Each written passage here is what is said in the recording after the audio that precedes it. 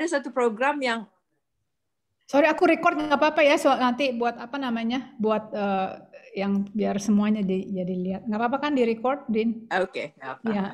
Jadi uh, aplikasi Gramedia itu ada satu paket yang kita bayar bulanan dan kita bisa hmm. baca buku sebanyak-banyaknya kita mau gitu. Wow. Wow, baru banget ya. Iya. Tapi uh, memang nggak uh, bukunya nggak semua kita bisa sih. Jadi buku-buku tertentu mereka masih jual uh, individually. Iya iya. Ya. Jadi nggak uh, masuk di dalam paket itu. Ya, Lumayan oh. seru sih itu aplikasinya Gramedia. Karena sih waktu yang bulan lalu tuh yang buku yang bilangan Fu itu kan uh, siapa sih yang mau beli katanya sampai 60 60 pound apa? Aduh udah mahal banget. Iya. Mahal ya. banget karena kan uh, di mungkin dia import ya atau gimana ya jadi akhirnya enggak ini. Uh, kalau ini maksudnya kalau ada option kayak ini kan lebih bagus. Terus ada teman yeah. si uh, di Hong Kong dia akhirnya minta di pokoknya dia minta dikirimin enam bukunya terus dia bayar ini si Sari uh, dia, uh, dia mau ikutan juga tapi dia nggak bisa ini ya udah apa namanya dibeliin dia ini apa namanya dia akan uh, jadi dia udah baca dia bilang nggak bisa malam ini. Musik gitu oh. kali. halo mbak Sasa. Hai Sasa. Hai. Suaranya belum kedengeran. Iya suaranya belum ada. Oh hello hello. Hai apa kabar? Baik. Rambut baru rambut baru Oh enggak, ini pendek, oh, dipendekin. Itu. Oh, I see. Pakai turban. Belum cuci rambut, jadi di oh. diumpetin. I see, I see. Pokoknya kalau acak adut udah uh, ininya modalnya ini si turban. Gitu ya. Aku ngikutin FB kamu, aduh masakan kamu enak-enak ya, pinter masak ya Mira ya. Suka aja, bukan pinter, pokoknya lagi kepengen makan apa bikin gitu. Oh, uh, ini ya apa karena Ati juga ikut Ati. That's nice. Ati is here? Ati is oh. lagi, oh iya. Indri here. Dini Dini juga dari London. Itu Zaza ya. Oh, oke okay. Hai Ati. Halo. Nice to see you. Ada Dini juga Ati. Hai. Halo Ati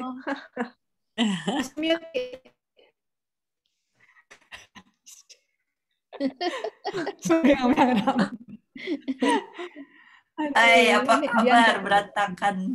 Baik. Ati baca yang buku Indonesianya apa yang Inggrisnya, Ati? Indonesia dong. Di yang Indonesia. dari mana dapat siapa? Dari ini dari um, dari Google, Google Read. Hmm. Oh, sama dari berarti kayak Dini juga ya. Oke, okay, that's nice. Murah lagi. Iya, iya murah, murah cuman Google Play. Cuman one pound sixty nine ya kalau nggak salah, Din. Oh, Ati laki dapatnya segitu. Kayaknya uh, harganya bisa berubah-ubah deh kayaknya Ati. Karena gue murah uh, banget dapetnya.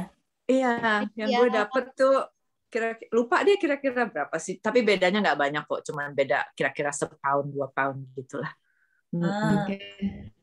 kalau Gramedia uh, aplikasi Gramedia malah lebih mahal kalau di poundin jadi kira-kira hampir lima pound gitu. Tapi kalau nggak salah program media lu dapat lu bayar satu kali untuk untuk banyak buku deh. Iya, ada dua ada dua program mereka. Ada yang uh, paket bayar sekali untuk semua buku, eh bayar per bulan untuk banyak buku dan ada yang jual uh, per buku dijualnya. Hmm. Kayaknya Mira mulai aja Mir diskusi, diskusi antara kita dulu Mira. Iya, mulai Makan. aja ya, udah iya. lumayan ya. nih sambil ya, nunggu yang lain. Oke, kita mulai. Kebetulan saya bergiliran untuk jadi moderator untuk malam ini. Um, jadi kita membahas entrok. Entrok uh, ternyata BH ya, baru tahu bahwa ternyata disebut entrok. Tapi is it a, a word atau memang hanya karangan aja ya?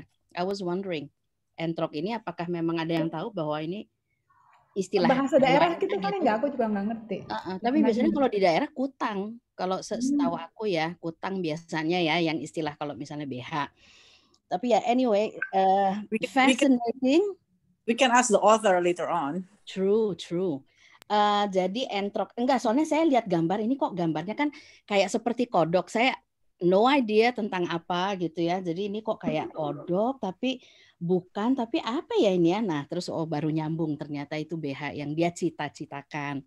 Hai Mbak Inggi eh Inggita. Ini yang lama nih. Oh, buku yang lama ya, versi lama. Nah, ini malah kelihatan BH-nya ya. Hmm. Makanya aku beli yang lama. Uh -uh, di sini sih enggak sama sekali ya ini enggak kebayang ini tadinya apa. Uh, dan jadi uh, seperti apa mungkin semua juga sama. Saya terus terang sedih sekali baca ini soalnya enggak I will not cry tonight hopefully cengeng dasar. Uh, tetapi it's nggak bisa berhenti baca karena memang berturut-turut kayak baca mam, oh mama oh papa gitu ya seperti seperti itu jadi ya, setiap ya. kali itu tertimpa lagi tertimpa lagi. Udah seneng dikit sedih lagi seneng dikit sedih lagi gitu ya. Seperti up and down gitu uh, kisahnya ini. Jadi nah karena itu fascinating banget karena pengen tahu jadinya kan aduh ini kapan dia bahagianya sih? gitu ya. Uh, terus uh, tetapi catatan saya adalah saya senang sekali bisa baca kehidupan orang rakyat kecil ya. Karena mungkin dari kita kita semua kita nggak punya bayangan di kampung tuh seperti apa sih. Memang saya pernah KKN melihat uh, kehidupan di kampung sana, tetapi uh, apa yang uh, maksudnya uh, their wishes apa keinginan mereka harapan mereka tuh seperti apa tuh nggak ke, nggak kebayang gitu nah ternyata di, diawali dari sesuatu yang sangat sederhana yaitu si BH itu ya si entrok itu yang dia yang dia uh, ini and that was her um, apa uh, yang yang membuat dia menjadi who she is eventually ya yaitu ingin menjadi orang yang punya orang yang kaya dengan berbagai konsekuensi tentunya. Uh, ada catatan dari Mbak Adita yang nggak bisa ikut kita dan saya bacakan boleh ya saya bacakan komentarnya dia yang juga mungkin menarik untuk kita simak yaitu hmm, untuk entrok ini ada dua hal yang yang dia catat yaitu betapa kejamnya cap PKI itu. Itu saya juga baru tahu yeah. bahwa kalau ada cap PKI itu mereka harus lapor setiap minggu apa ya kalau nggak salah uh, making sure mereka uh, maksudnya ya melapor diri lah ya. Jadi nggak bisa hidup selama cap itu ada. Tanda di KTP itu saya dengar tidak hanya yang dicap PKI tapi juga semisalnya untuk turunan Tionghoa ini saya juga baru tahu ini bahwa ternyata orang Tionghoa itu punya cap tersendiri di uh, ininya. Cuman kalau sempat nonton filmnya Susi Susanti, uh, petenis itu juga perjuangan untuk jadi WNI ya sangat-sangat berat. Hmm. Jadi secara sistematik hidup keluarga yang berbeda ras atau aliran dibuat susah di masa itu. Lalu bagaimana perbedaan kepercayaan bisa merusak keluarga. Jadi Rahayu benci dengan ibunya karena ibunya dianggap musyrik. Sementara si ibu taunya hanya itu. Dan menurut dia hanya mengungkapkan rasa terima kasih pada ibu bapak alam. Susah kalau kaum dominan merasa paling benar. Jadi pertanyaan pertanyaannya adalah bineka tunggal ika kita itu sejauh apa dijalankan? Good question sih ya. Bisa hmm. kita tanyakan nanti kepada uh, Mbak Oki penulisnya gitu. Jadi uh, sejauh mana ya dia maksudnya mulai kapan sih orang itu akhirnya uh, Pancasila itu dirasakan oleh rakyat kita semua gitu ya segala hmm. lapisan. Karena memang kayaknya ditindas bener gitu ya kalau misalnya kita baca entrok tuh aduh sedih banget gitu. Uh, bawaannya tuh uh, kayaknya ngenes banget gitu ya. Nah um, I'll just go around siapa yang ini ingin memberi komentar atau punya pandangan yang lain dengan okay, uh, membaca ini. Siapa yang duluan silahkan. Eh, boleh. Saya uh, rasanya baca, baca buku ini agak sulit sekali ya. Uh, apa namanya? Susah karena sangat real gitu. Jadi apa sedih, sedih dan ini kejadian ini bukan satu orang dua orang tapi berarti jutaan orang yang orang rakyat kecil yang di daerah yang tidak berpendidikan, terus juga harus apa harus bayar upeti untuk tentara-tentara, harus bayar upeti. Jadi itu kejadian itu for 30 tahun itu kita mengalami gitu. Jadi um, betapa kejamnya sebetulnya ya. Terus apalagi kejamnya begitu si Rahayu ini juga pernah di penjara karena dia apa menentang dan lain sebagainya akhirnya dicap seperti Nazi dia ya. Jadi dicap yang di kartu namanya itu. Dia betul-betul nggak bisa bergerak gitu. Akhirnya dia tahun 99 itu kan yang di depannya akhirnya balik begitu. Dia punya KTP baru. Itu kan setelah si lengser ya Soeharto ya. Jadi that's the, the, the new era gitu loh. Dari jam selesailah itu penindasan tiga tiga puluh dekade. Kita mungkin kalau di, di Jakarta atau di kota-kota besar mungkin nggak begitu merasakan dan juga mungkin kita uh, berpendidikan. Jadi kayaknya somehow we get away gitu. Tapi betapa banyak orang-orang yang yang di kampung-kampung itu yang miskin dan segala macam yang tertindas gitu pokoknya uh, kalau kita mau tanah ini untuk ini harus kasih kalau enggak masuk penjara gitu kan itu pasti sering sekali gitu betapa betapa sedihnya sebenarnya. Jadi terus terang saya baca ini agak-agak susah dibanding yang bilangan Fu yang kayaknya sangat detach dengan topiknya. Ini kayaknya aduh makan hati. Ya. Sorry. Lelah Itu aja ya. Habis baca tuh merasa lelah ya Mbak Indrit. Ya, kalau saya terus terang ini, uh, memang memang memang tersentuh sekali ya dengan tindasan-tindasan itu. Hmm. Tetapi saya lebih gampang membaca buku ini. It, it flows, apa hmm. cepat sekali saya bacanya kata-katanya uh, gampang dicerna. Um, it's, I think saya saya saya selesai dalam dua tiga hari deh gitu loh ya. Uh, walaupun ininya ya kemakan lah gitu ya. Um, kalau saya sendiri kalau mengenai pengalaman G30 SPKI ini saya kenal beberapa orang yang anaknya bapaknya dulu disangka dilibat terlibat lah ya. Memang menyedihkan mereka nggak bisa dapat kerja. Hmm. Mereka uh, jadi kadang-kadang mereka kerjanya tuh ya dari dari saudaranya atau apa gitu. Itu itu it's it's it's a it's a very stressful thing dan lagi pula uh, di di buku ini juga kita lihat apa yang uh, yang orang Cina itu nggak boleh ke kelenteng, hmm. right? Untuk hmm. observe their yeah, yeah. Uh, cultures apa apa. It's amazing that pada saat ini kita sekarang sudah punya banyak keterbukaan. Ada tahun baru Cina dengan Liong yang rame dan menyenangkan itu. Um, uh, dulu ingat sekali orang Cina harus harus ganti namanya. Uh, nggak boleh ada koran bahasa Cina, nggak boleh kalau ke Glodok udah ganti yang yang you know itu actually adalah perampokan kultur kan. Um, ya memang itulah zaman tiga decade dari pemerintah you know uh, zaman Pak Harto ya for better or worse gitu loh ya uh, zaman Pak Harto pun ada bagusnya in a way gitu ya tetapi banyak juga penindasan dan abuse of power. Hmm, ya. Nah. Anyone else yang ingin uh, berkomentar Mbak Ati silahkan. Abis itu, itu Mbak Dia ya. Abis Mbak Ati Mbak Dia silahkan. Ya, um, aku ada tiga yang yang aku ambil yang paling kuat pertama ya mengenai PKI ya. Jadi uh, aku ngerasa sampai memang saat ya, kita ngerasa banget lah ya setiap kali mau masuk sekolah apa atau apa kan kita harus dulu ke kantor polisi untuk dapat surat keterangan kita bebas, bebas. ya PKI. Ya. Um, dan tapi yang menyeramkan adalah sampai saat ini di grup uh, apa SD saya atau SMP ya. Kalau misalnya ada orang sedikit aja ngomong apa ya uh, langsung dicap PKI itu masih ada gitu loh masih kuat. Jadi yang apa Indrit bilang udah lewat sekarang udah lewat ya udah lebih terbuka. Itu ternyata dengan mudahnya gampang banget. Itu di antara teman-teman itu tiba-tiba ada kasus misalnya kemarin um, ada misalnya ada video mengenai orang Cina yang apa langsung oh ya Pak itu PKI ganyang PKI iya emang jangan dikasih kesempatan untuk pokoknya itu langsung wuh, yang padahal sebelumnya kita ketemu ngomongnya lagi manis-manis nggak ada apa-apa. Ada satu aja kayak lang langsung kayak disembur sama sama minyak tanah. Langsung kebenciannya tuh keluar luar biasa lah ganyang PKI jangan memberi kesempatan. Itu padahal teman-teman SD yang kita tuh ngomongnya yang ya, ya peluk-pelukan segala macam. Jadi itu terus apa masih merupakan masalah yang luar biasa um, masih besar gitu ya. Terus yang kedua adalah mengenai militer.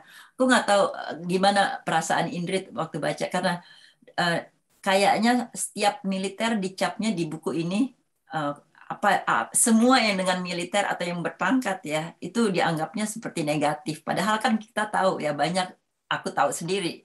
Aku kenal keluarga-keluarga militer yang tidak semua seperti itu. Tapi di pengalaman ini kayaknya semua hampir semua itu dianggap dari dari yang level atas sampai bawah itu pasti dianggap negatif ya.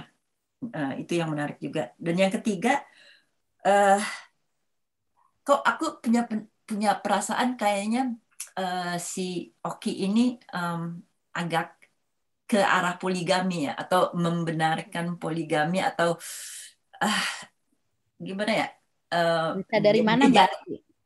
Dia dua kali jatuh cinta ke orang yang sudah menikah dan uh, sepertinya di diromantisir gitu loh. Hmm. Keadaan itu diromantisir bahwa orang itu uh, punya karisma yang luar biasa sehingga walaupun dia akhirnya balik ke istrinya yang kedua itu dianggap nggak apa-apa yang penting nilainya yang lain luar biasa. Tapi ada dua tokoh yang seperti itu uh, yang bolak-balik kayak sepertinya diromantisir. Hmm. Uh, aku kurang serp di situ. Uh, apa Iya, kalau saya lihat sih kalau menanggapi sedikit ya mengenai yang poligami itu kan yang ini yang rahayu kan ya. Rahayu yang ceritanya ya. menikah dengan ya. cuman kayaknya dia itu kan kepengaruh banget sama guru agamanya tuh yang di kampungnya kan uh, dia kan apa-apa ya itulah dia nyalahin ibunya bahwa ibunya ini masih yang kejawen dan uh, apa yang kata si Pak Ustadz nih yang paling benar gitu jadi kayaknya dia memang apa kebawa gitu sama aliran aliran yang yang eh, apa ya yang disampaikan si Pak Ustadz yang mungkin juga di antaranya oh poligami boleh gitu ya. Jadi yang seperti itu ya karena dia nggak punya pembanding kan. Ibunya juga eh, nggak nggak ini kan apa namanya ibunya tuh juga nggak berpendidikan. Jadi mungkin juga maaf. contoh ya. Maaf tapi hmm. ibunya yang lebih tidak berpendidikan lagi uh-huh. masih punya hati. Ya ya. Wah, ibunya yang lebih jauh tidak berpendidikan masih rasa walaupun gimana saya tuh tidak akan ngambil suami orang gitu loh. Aku ngeliatin dari situ aja. Setuju. Mbak Dia silahkan. Dian. Eh ya. Mbak Dian ya Allah, so sorry. Oke, nggak apa-apa. Silakan. Ya. Terima kasih udah diajak lagi. By the way, senang banget. Um, aku pinjam buku ini, baca buku ini dari Inggita. Jadi thank you Inggita udah minjemin. Baca buku ini tuh rasanya macem-macem banget, tapi yang paling kuat rasanya adalah uh, it is so depressing gitu, depresif. Kalau film tuh kayak film-filmnya East Asia. Jadi plotnya semua tuh betul-betul realistis, ending yang gedubrak kayak yang sakit gitu rasanya very East Asia. Terutama kayak film Jepang sama Korea kayak gitu. Jadi plotnya bisa dek dek dek dek kayak gitu ya. Itu satu. Kedua, uh, saya suka bagaimana dituliskan dari perspektif ibu dan anaknya, dua-duanya punya perasaan yang beda gitu, sama-sama kesel, kehul gitu kalau orang Sunda bilang, tapi nggak ngomong, jadi cuma ya udah jalanin aja karena seperti karena memang ya udah keduanya kan darah ya, jadi ya udahlah just go ahead gitu. Jadi uh, sebetulnya itu bisa jadi masalah sebetulnya. Nah kemudian aku ngerasa cerita ini tuh to me kind of um, relevan karena satu ayahku tentara. Terus waktu baca dan ayahku tentara tuh zaman orba ya kan? Jadi rasa gini hmm gitu. Ngeri juga ya. Kita kan nggak tahu kalau di luar gimana. Meskipun dulu pernah di satu masa kita tuh ayah saya pas lagi tugas di Aceh itu dia juga bilang bahwa ini agak serem ya. Dia bilang sebenarnya kita harus pergi. Jadi aku jadi ngerasa iya ya kayak dulu tuh tentara emang serem ya berarti. Jadi kepikiran aja lu masih kecil gitu. Jadi nggak terlalu ngerti gitu ya. Dan apalagi kalau tinggal sama keluarga tentara ayah itu kan tidak pernah ngomong apa-apa. Terlalu banyak secret. Jadi saya jadi baca itu seperti gini hmm, gitu, jadi ngeri gitu ya. Itu ketiga. Eh, tapi tentu kalau di rumah he's always our hero dong gitu kan. Jadi jadi mikir gitu. Keempat yang soal Chinese itu. Nah temanku banyak Chinese dan dulu waktu SD pernah tinggal di Medan. Di Medan itu uh, kan agak beda sama Chinese Surabaya, misalnya yang masih bahasa Jawa. Kalau Chinese Medan itu memang betul-betul terpisah. Jadi ada yang sorry to say gitu ya, cuman memang benar karena mungkin zaman dulu Orba itu kita betul-betul terpisah. Tapi aku sih masih main gara-gara ada les piano lah yang kayak gitu-gitu gitu. Cuma memang terasa beda sekali sampai suatu hari waktu pas lagi ke rumah guru piano, aku baru tahu gitu bahwa si guru piano ini dia pakai hio. Sampai sekarang tuh baunya masih ingat banget ya. Pakai hio di rumahnya. Terus dia memperkenalkan dan dia bilang, "Oh, Dian ini kamu nggak, aku ingat banget namanya Miss Rani.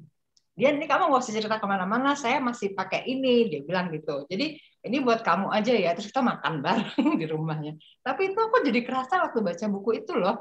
Jadi inget iya juga ya.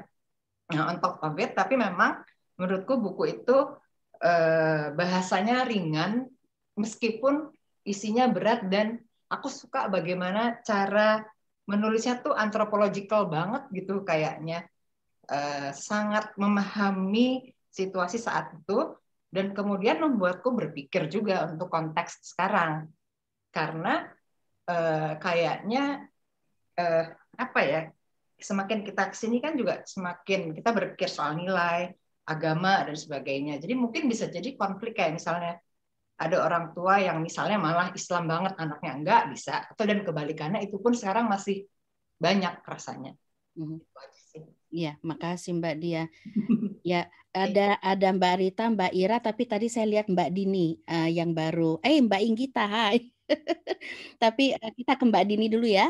Mbak Dini, silahkan tanggapannya. Wah, ini uh, buku ini buat saya, saya baru, saya ada beberapa buku yang saya bisa baca dalam satu sitting ya. Dan ini termasuk salah satunya. Um, karena memang uh, bahasanya seperti yang yang lain tadi bilang bahasanya mudah itu seperti uh, bahkan seperti sedang saat baca tuh sedang ngobrol dengan teman yang dia lagi bercerita gitu dan uh, apa yang membuat kita ada nangisnya ada ada gembiranya ada bangganya pokoknya segala macam deh ada di situ semua dan saya rasa uh, mungkin saya juga belum banyak baca buku bahasa Indonesia, tapi yang ini pertama kali saya baca tuh yang sampai berhari-hari masih terpikir. Hmm. Bahkan kayaknya susah gitu untuk berhenti berpikir tentang isi buku itu. Hmm. Semuanya dari dari uh, apa ya? Dari kemiskinan, dari perjuangannya perjuangan terutama dari perjuangan wanita. Ini hmm. saya mau ngomong aja sampai sedih rasanya. Nggak Karena apa. ada mungkin nanti suara saya jadi berubah ya. Yang saya sedih benar saya nangis sampai ada waktu berapa menit saya duduk diam nangis itu saat um, nah ini saya masih kepikiran lagi nih saat Marni uh, di ladang tebu dia bayar uh, pekerjaannya. Hmm. Ada kalimatnya yang bagus sekali menurut saya. Um, karena awal dia bekerja, dia dan ibunya itu hanya di hanya dikasih upah hmm. uh, makanan kan? Oh. Nah, dia di situ dia dengan bangganya dia seakan-akan dia bicara dengan ibunya bahwa lihat ini uh, sekarang saya membayar ini semua laki-laki ini yang bekerja pada saya. Di situ saya rasa wah kayak apa ya bangganya gitu uh, seorang perempuan yang tadinya cita-citanya hanya beli bra sampai akhirnya dia bisa uh, bisa membawahi segitu banyak laki-laki terutama. Bukan hanya perempuan ya tapi laki-laki. Nah itu di situ saya rasa uh, perjuangan perempuan yang sampai sekarang pun saya rasa mungkin dengan dengan bentuk yang berbeda tapi konteks yang mirip ya. Bahwa sebagai perempuan nih kita nih kadang masih ter, masih dianggap uh, tidak mampu untuk banyak hal atau masih dikesampingkan. Dan itu perjuangan yang sampai sekarang saya rasa juga masih masih perlu diperjuangkan jadi uh, walaupun bentuknya lain ya bentuknya bukan bukan beli bra lagi tapi ya tapi ada ada saat kita mau mencapai cita-cita tertentu, kita bisa um, mungkin tidak secara langsung di stop oleh uh, orang-orang, tapi uh, ada bentuk yang uh, seakan-akan ah lu nggak sanggup deh, lu pasti nggak mampu deh gitu. Kan lu ada seakan-akan gitu kan lu cewek kayaknya ah, lu nggak sanggup deh gitu. Nah itu ternyata sampai sekarang masih masih kita harus perjuangkan um, ya yang lain-lain seperti yang tadi sudah dijelaskan semua saya rasa uh, ya sepakat itu mm-hmm. memang buku ini luar biasa luar biasa banget sampai sekarang pun saya masih bolak-balik mm. lihat-lihat lagi uh, nota-nota kalimat-kalimat yang kok bisa uh, disampaikan begitu da, uh, hal yang begitu dalam disampaikan dalam uh, halaman yang hanya 200 sekian itu luar biasa sekali. Ya. Dan kita ngerti semua ya perasaannya ya. Nah, kita, kita ngerti semua. Ya. Betul. Baik ibu maupun si Rahayu kita ya. uh, bisa berempati dengan dua-duanya sepertinya gitu ya. Uh, nah, sebelum kita dia. lanjut, sebelum kita lanjut Mbak Rita, Mbak Ira dan Mbak Inggita, uh, one thought was juga mengenai dia jadi lintah darat ya. Dia sering dibilang dia lintah darat nih. Saya tuh jadi mikir sendiri if I was her, apakah saya meminjamkan dengan bunga juga gitu? Karena kan dia sebenarnya dipaksa kan nggak bukan pilihan dia jadi lintah darat kan tetapi tetangganya kan maksa karena harus ke rumah sakit eh pinjemin dong kan kamu punya duit banyak gitu. Eh, nanti tak pulangin deh dengan dengan tambahan gitu kan. Nah akhirnya dari mulut ke mulut walaupun uh, kiri kanan belakang depan semua ngomongin dia kamu nih lintah darat. Wow pokoknya dihujat banget tapi ya tetap aja dia uh, lakoni ya. Jadi saya lagi-lagi mikir lah kenapa dia nggak ya udah just say no aja bilang aja. Cuman ya kalau di kampung susah ya kita dikucilkan nah that's another thing. Silahkan Mbak Ira tadi yang duluan uh, ini ya. Silahkan tanggapannya Mbak. Iya terima kasih. Salam kenal saya temennya Lili. Um, ya pokoknya sama juga seperti yang lain. Saya juga sangat apa ya uh, moving sekali bukunya uh, juga bahasanya menurut saya sangat intim jadi kita benar-benar terbawa dengan ceritanya. Um, kalau menurut saya juga perspektif yang sangat menarik karena seperti tadi Mbak Dian mengatakan kan um, anak dari keluarga militer. Kalau saya anak dari keluarga pegawai negeri dan apa namanya dari sisi situ kan kita selalu mikir ya Golkar udah otomatis gitu ya waktu kecil itu uh, dan untuk melihat um, on the other side itu bagaimana mereka dipaksa harus milih itu, terus pemerasan dan segala macam. Ya seperti yang Lili katakan juga kita di Jakarta sangat apa ya ter we're protected gitu ya. Kita nggak gitu mengetahui tentang apa kejadian di sana sebenarnya. Dan itu benar-benar membuka mata sih. Tentu kita udah banyak baca berita dan conceptually kita tahu bahwa itu kejadian di Orde Baru seperti itu, tapi untuk membaca dari cara yang sangat intim seperti itu uh, memang benar-benar apa ya membuka mata lah begitu ya dengan dengan segala perspektifnya. Dan uh, juga soal uh, tension antara kejawen dan Islamization itu menurut saya juga sesuatu yang memang bisa dilihat konteksnya dengan kondisi seperti sekarang ini di mana mulai banyak yang bergerak untuk mempertahankan budaya kita yang Nusantara dan begitu majemuk dan begitu pluralis eh, dengan movement untuk yang mulai ada pengaruh Arab juga ya kan. Jadi sekarang menurut saya menarik melihat itu dari posisi ibu dan anak eh, perspektif mereka gitu. Bahwa ada tension itu ya. Selamat malam Mbak Oki Madasari. Selamat malam. Selamat malam. Terima kasih sudah datang Mbak Oki. Eh, saya malam ini menjadi moderator Mbak Oki. Uh, tetapi saya ingin memperkenalkan sedikit mengenai grup kami ini yaitu uh, Kutu Buku ya. Uh, ini adalah uh, baiknya Mbak Lili dan Mbak Indrit. Jadi mungkin Mbak Lili dan Mbak Indrit mungkin bisa memperkenalkan uh, dulu uh, Kutu Buku itu uh, bagaimana awal muasalnya. Silahkan. Terima kasih Mira. Terima kasih banyak ya Mbak Oki udah datang walaupun kita belum pernah ketemu tapi saya berhasil kirim email saya bilang tolong datang ke buku buku klub dan terima kasih sudah datang. Jadi awal mulanya kita uh, ini uh, uh, saya dan Indrid berpikiran kita sama-sama tinggal di luar negeri lama dan sama-sama kawin dengan orang asing. Kita jarang baca buku bahasa Indonesia. Jadi saya pikir selama saya di Indonesia, saya ingin banyak baca buku itu dan ya, dari dari itulah asal mulanya kita pikir kita bikin buku club, buku club ini dan kita ajak teman-teman yang juga sangat cinta uh, membaca dan cinta buku-buku Indonesia. Jadi kira-kira itu dari saya. Indrit?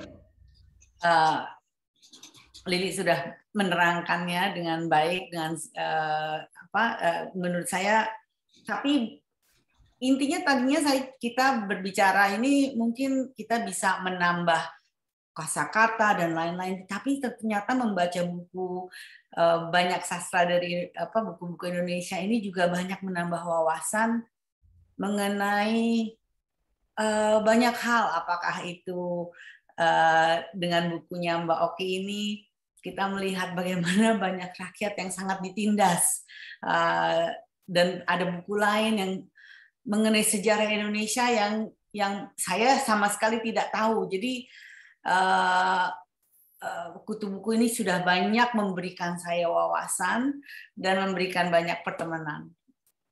Iya. Terima kasih. Terima kasih Mbak Indrit. Mungkin uh, kita tanyakan dulu ke Mbak Oki. Tadi kita jadi setengah jam sebelumnya Mbak kita sudah membahas mengenai bukunya dan semuanya sepakat bahwa apa namanya bukunya maaf ini uh, jadi bukunya tidak bisa diletakkan saking penasaran. Jadi seperti roller coaster ride gitu ya. Jadi kayak uh, seru banget dan kita mempelajari banyak hal yaitu mengenai uh, terutama mengenai kehidupan rakyat kecil gitu dan um, nasibnya mereka gitu yang sangat mengenaskan.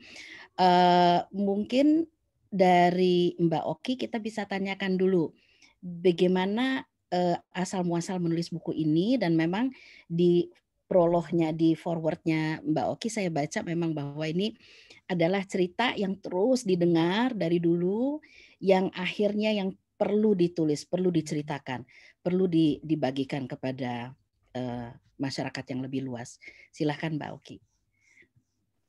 Iya, terima kasih, terima kasih Mbak Lili, Mbak Mira, Mbak Indri, Mbak, Mbak semua sudah mengundang saya.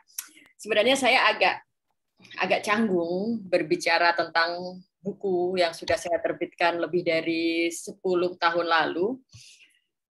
Dan saya sebenarnya sudah tidak pernah pada posisi menjelaskan buku itu kepada kepada pembaca, pembaca yang kemudian seharusnya um, berbicara justru pendapat mereka apa, uh, bagaimana mereka memaknai itu, bagaimana kritiknya, bagaimana uh, menempatkan itu dalam uh, kehidupan mereka gitu. Jadi agak susah menjelaskan itu tapi saya akan coba um, jadi memang betul seperti yang sudah saya tulis ini terinspirasi inspirasi utamanya lahir dari uh, nenek saya. Nenek saya biasa bercerita bahwa sejak kecil sering bercerita bahwa ini entrok, saya dulu susah dapat entrok, saya dulu susah dapat entrok dan sebagainya.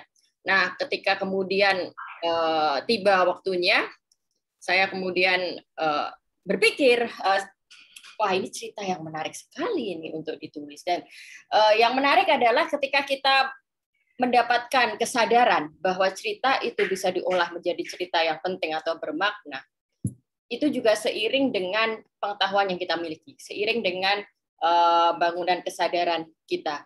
Jadi ketika pada akhirnya saya sudah membaca berbagai buku, saya sudah makin banyak melihat realita di sekitar saya, saya bisa merefleksikan bahwa oh cerita yang saya dengar dari nenek saya, kehidupan yang dialami nenek saya, kehidupan orang-orang terdekat saya, itu bisa menjadi materi yang berharga untuk diceritakan ulang. Itu bisa menjadi ide yang berharga untuk diceritakan ulang. Nah, jadi ketika kesadaran itu muncul, uh, saya putuskanlah untuk mulai menuliskan uh, novel itu. Begitu kira-kira. Ya. Uh, kira-kira ada yang mau menanggapi atau ada ing yang ingin ditanyakan ke Mbak Oki silahkan. Mbak Inggita silahkan dan habis itu Mbak Sasa. Silahkan Mbak Inggita.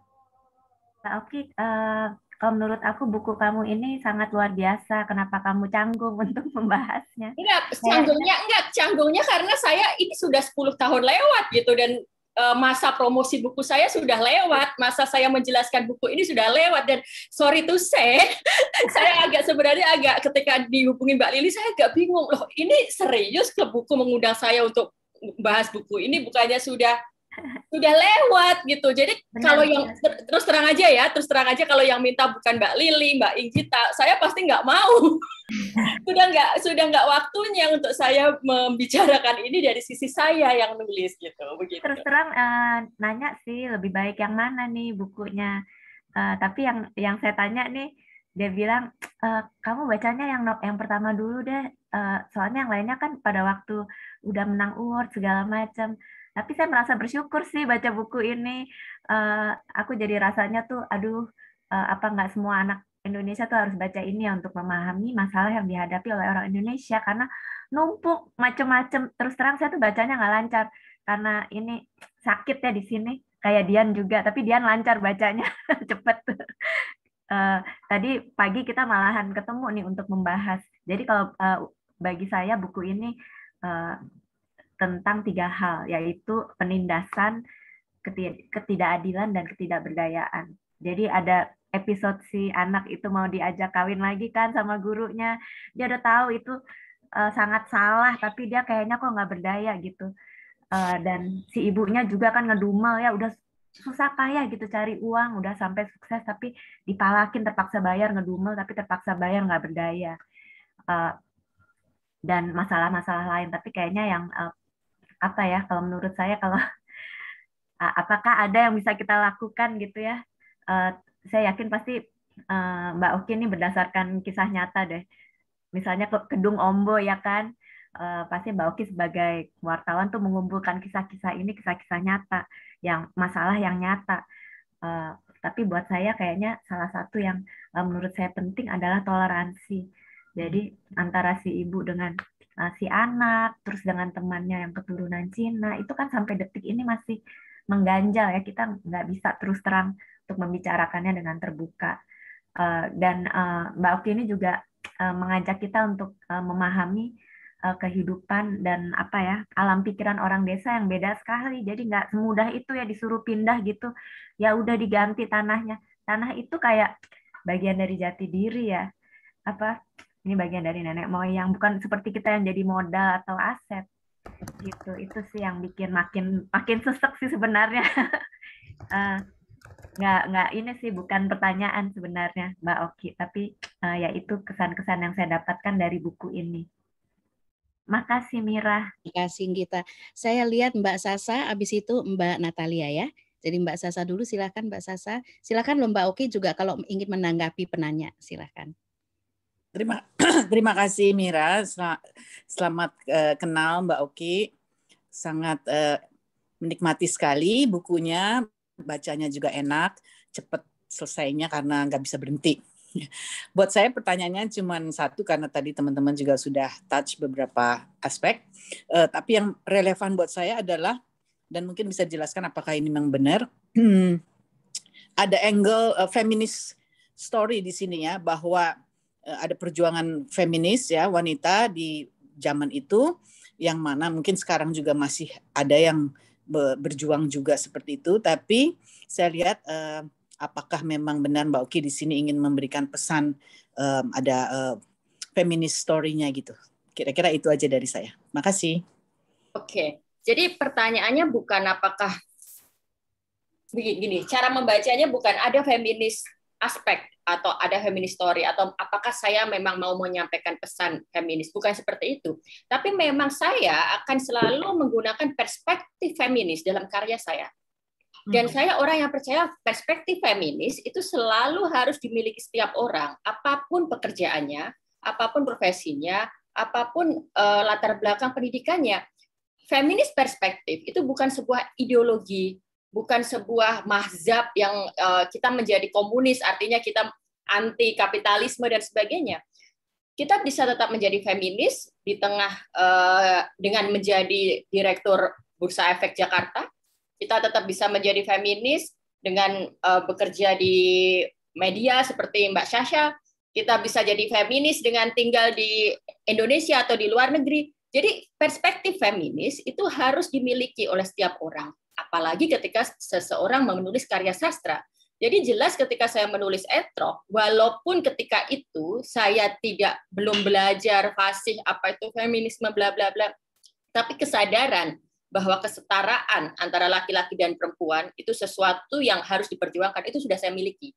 Dan ketika kemudian saya belajar apa itu feminis, saya tahu feminis itu kan as simple as ketika kita memperjuangkan kesetaraan dan percaya bahwa keadilan itu harus dimiliki uh, untuk laki-laki dan perempuan, di situ kita jadi feminis.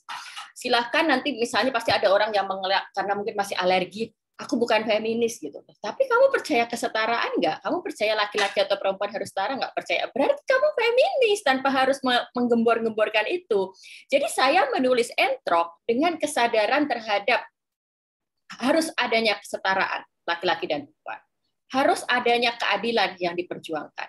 Dan tanpa saya mengatakan saya feminis pada waktu itu, otomatis saya sudah memiliki perspektif feminis. Uh, jadi jelas entrok, kemudian kalau kita analisis, uh, sudah banyak sekali kan riset-riset yang menganalisis entrok untuk PhD, untuk uh, skripsi, atau untuk jurnal. Kalau kita menganalisis dengan perspektif feminis, kita akan bisa temukan dari sisi yang paling sederhana feminisme dalam relasi domestik rumah tangga feminisme dalam uh, hingga kemudian feminis yang sifatnya bagaimana pembagian pekerjaan bagaimana adanya ketimpangan soal upah adanya ketimpangan dalam mendapatkan akses pekerjaan itu kan tergambar di entrok.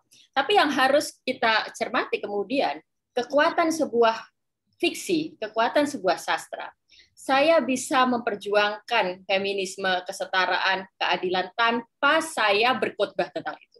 Ini kan kita lagi diskusi, jadi saya kemudian menjelaskan feminisme bla bla bla. Tapi kalau lewat cerita, saya sama sekali nggak menggunakan kata itu kan. Semuanya lewat cerita dan kemudian itu yang kemudian diharapkan bisa menyentuh orang-orang apa pun latar belakangnya, apa pun uh, di mana pun uh, pendidikannya seperti apa pun, story lebih menyentuh pikiran dan perasaan. Maka itu kemudian eh, saya percaya bahwa uh, menulis fiksi itu punya kekuatan dahsyat dalam membentuk kesadaran, termasuk kesadaran feminisme. Gitu. Terima kasih. Thank you. Terima kasih penjelasannya. Terima kasih. Uh, silahkan Mbak Natalia. Ya, selamat malam Mbak Oki. Salam kenal um, saya membaca buku ini dan perasaan yang muncul itu adalah amarah. Apa uh, marah, mangkel, kurang ajar uh, dan uh, oleh karena itu uh, beberapa kali saya harus menaruh buku ini karena saking apa mangkelnya itu kan. Um, and uh, apakah amarah yang uh, menjadi driving force motivation Mbak Oki um, dalam cerita-cerita yang ditulis uh, Mbak Oki setelah Entrok dan pada saat menulis Entrok ini. Uh, kemarahan terhadap uh, injustice, kemarahan uh, terhadap uh, uh, discrimination, uh, uh, amarah terhadap uh, kemiskinan. Jadi emosi apa yang mendorong Mbak Oki menulis Eh, cerita Entrok ini?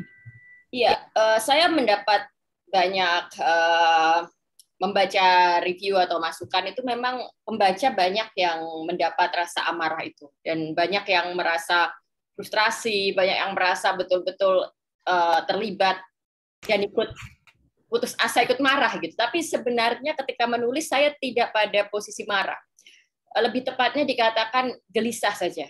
Jadi uh, saya nggak tahu apa yang kemudian mendorong uh, mempengaruhi kegelisahan itu terungkapkan dalam cerita yang sedemikian rupa hingga akhirnya seperti uh, kemarahan. Tapi seingat saya ketika menulis itu lebih ke rasa gelisah, tidak ke rasa marah. Uh, mungkin nanti berbeda dengan novel saya yang lain. Ada novel saya yang lain yang memang saya saat menulis itu marah. Uh, tapi kemudian itu mungkin juga rasa marah itu ketika dimasukkan dalam karya seni lewat bahasa, manifestasinya akan lain, tidak menjadi marah juga. Jadi uniknya itu, ketika saya menulis entrok justru dalam gelombang emosi yang cukup terkontrol, gelisah gitu. tapi uh, yang tersaji justru sebuah cerita yang membangkitkan kemarahan. Ada satu uh, mungkin komentar unik karena ini sudah melampaui ya 10 tahun lebih ya, jadi udah macam-macam orang berkomentar gitu. Tapi ada satu yang komentar ini yang lain daripada yang lain. Dia kesel ke saya karena menurut dia saya memunculkan kebencian terhadap aparat secara berlebihan. Oh oke, okay. saya saya terima saja itu kan bagian dari ini pembaca. Tapi itu ada ada satu uh, kalimat unik dari salah satu pembaca yang mengatakan seperti itu karena uh, isinya novelnya dianggap penuh kebencian kepada aparat. Terima kasih Mbak Oki, Mbak Natalia. Ada yang lain yang ingin menanggapi atau menanyakan? Silahkan. Oke, silakan Mbak Dian. Halo Mbak, Mbak Oki. Um, saya senang banget baca bukunya karena tadi saya udah sempat share sih, kayak ini plotnya tuh kayak kalau nonton film itu film East Asia yang depresif eh, menyentuh perasaan nggak bisa move on. Susah banget karena betul-betul menyentuh perasaan apalagi eh, dan endingnya tuh betul-betul itu apa eh, yang sad gitu ya sad ending. Jadi makanya kita susah move on kalau saya rasanya gitu. Kemudian kembali sangat menyentuh perasaan saya karena ada soal kebatinan Terus sebetulnya soal entrepreneurship, female entrepreneurship di sini kental sekali sebetulnya karena saya juga female entrepreneur.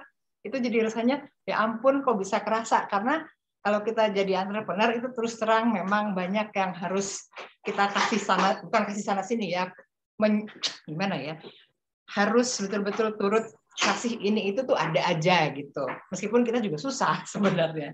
Jadi saya ngerasa relevan juga Kemudian again karena tadi saya sempat share karena saya anak tentara, itu jadi saya suka jadi mikir juga hmm, gitu. Mana saya pernah tinggal di Medan yang banyak Chinese juga. Jadi saya rasa cerita ini sangat menyentuh banget ke saya dan saya senang banget.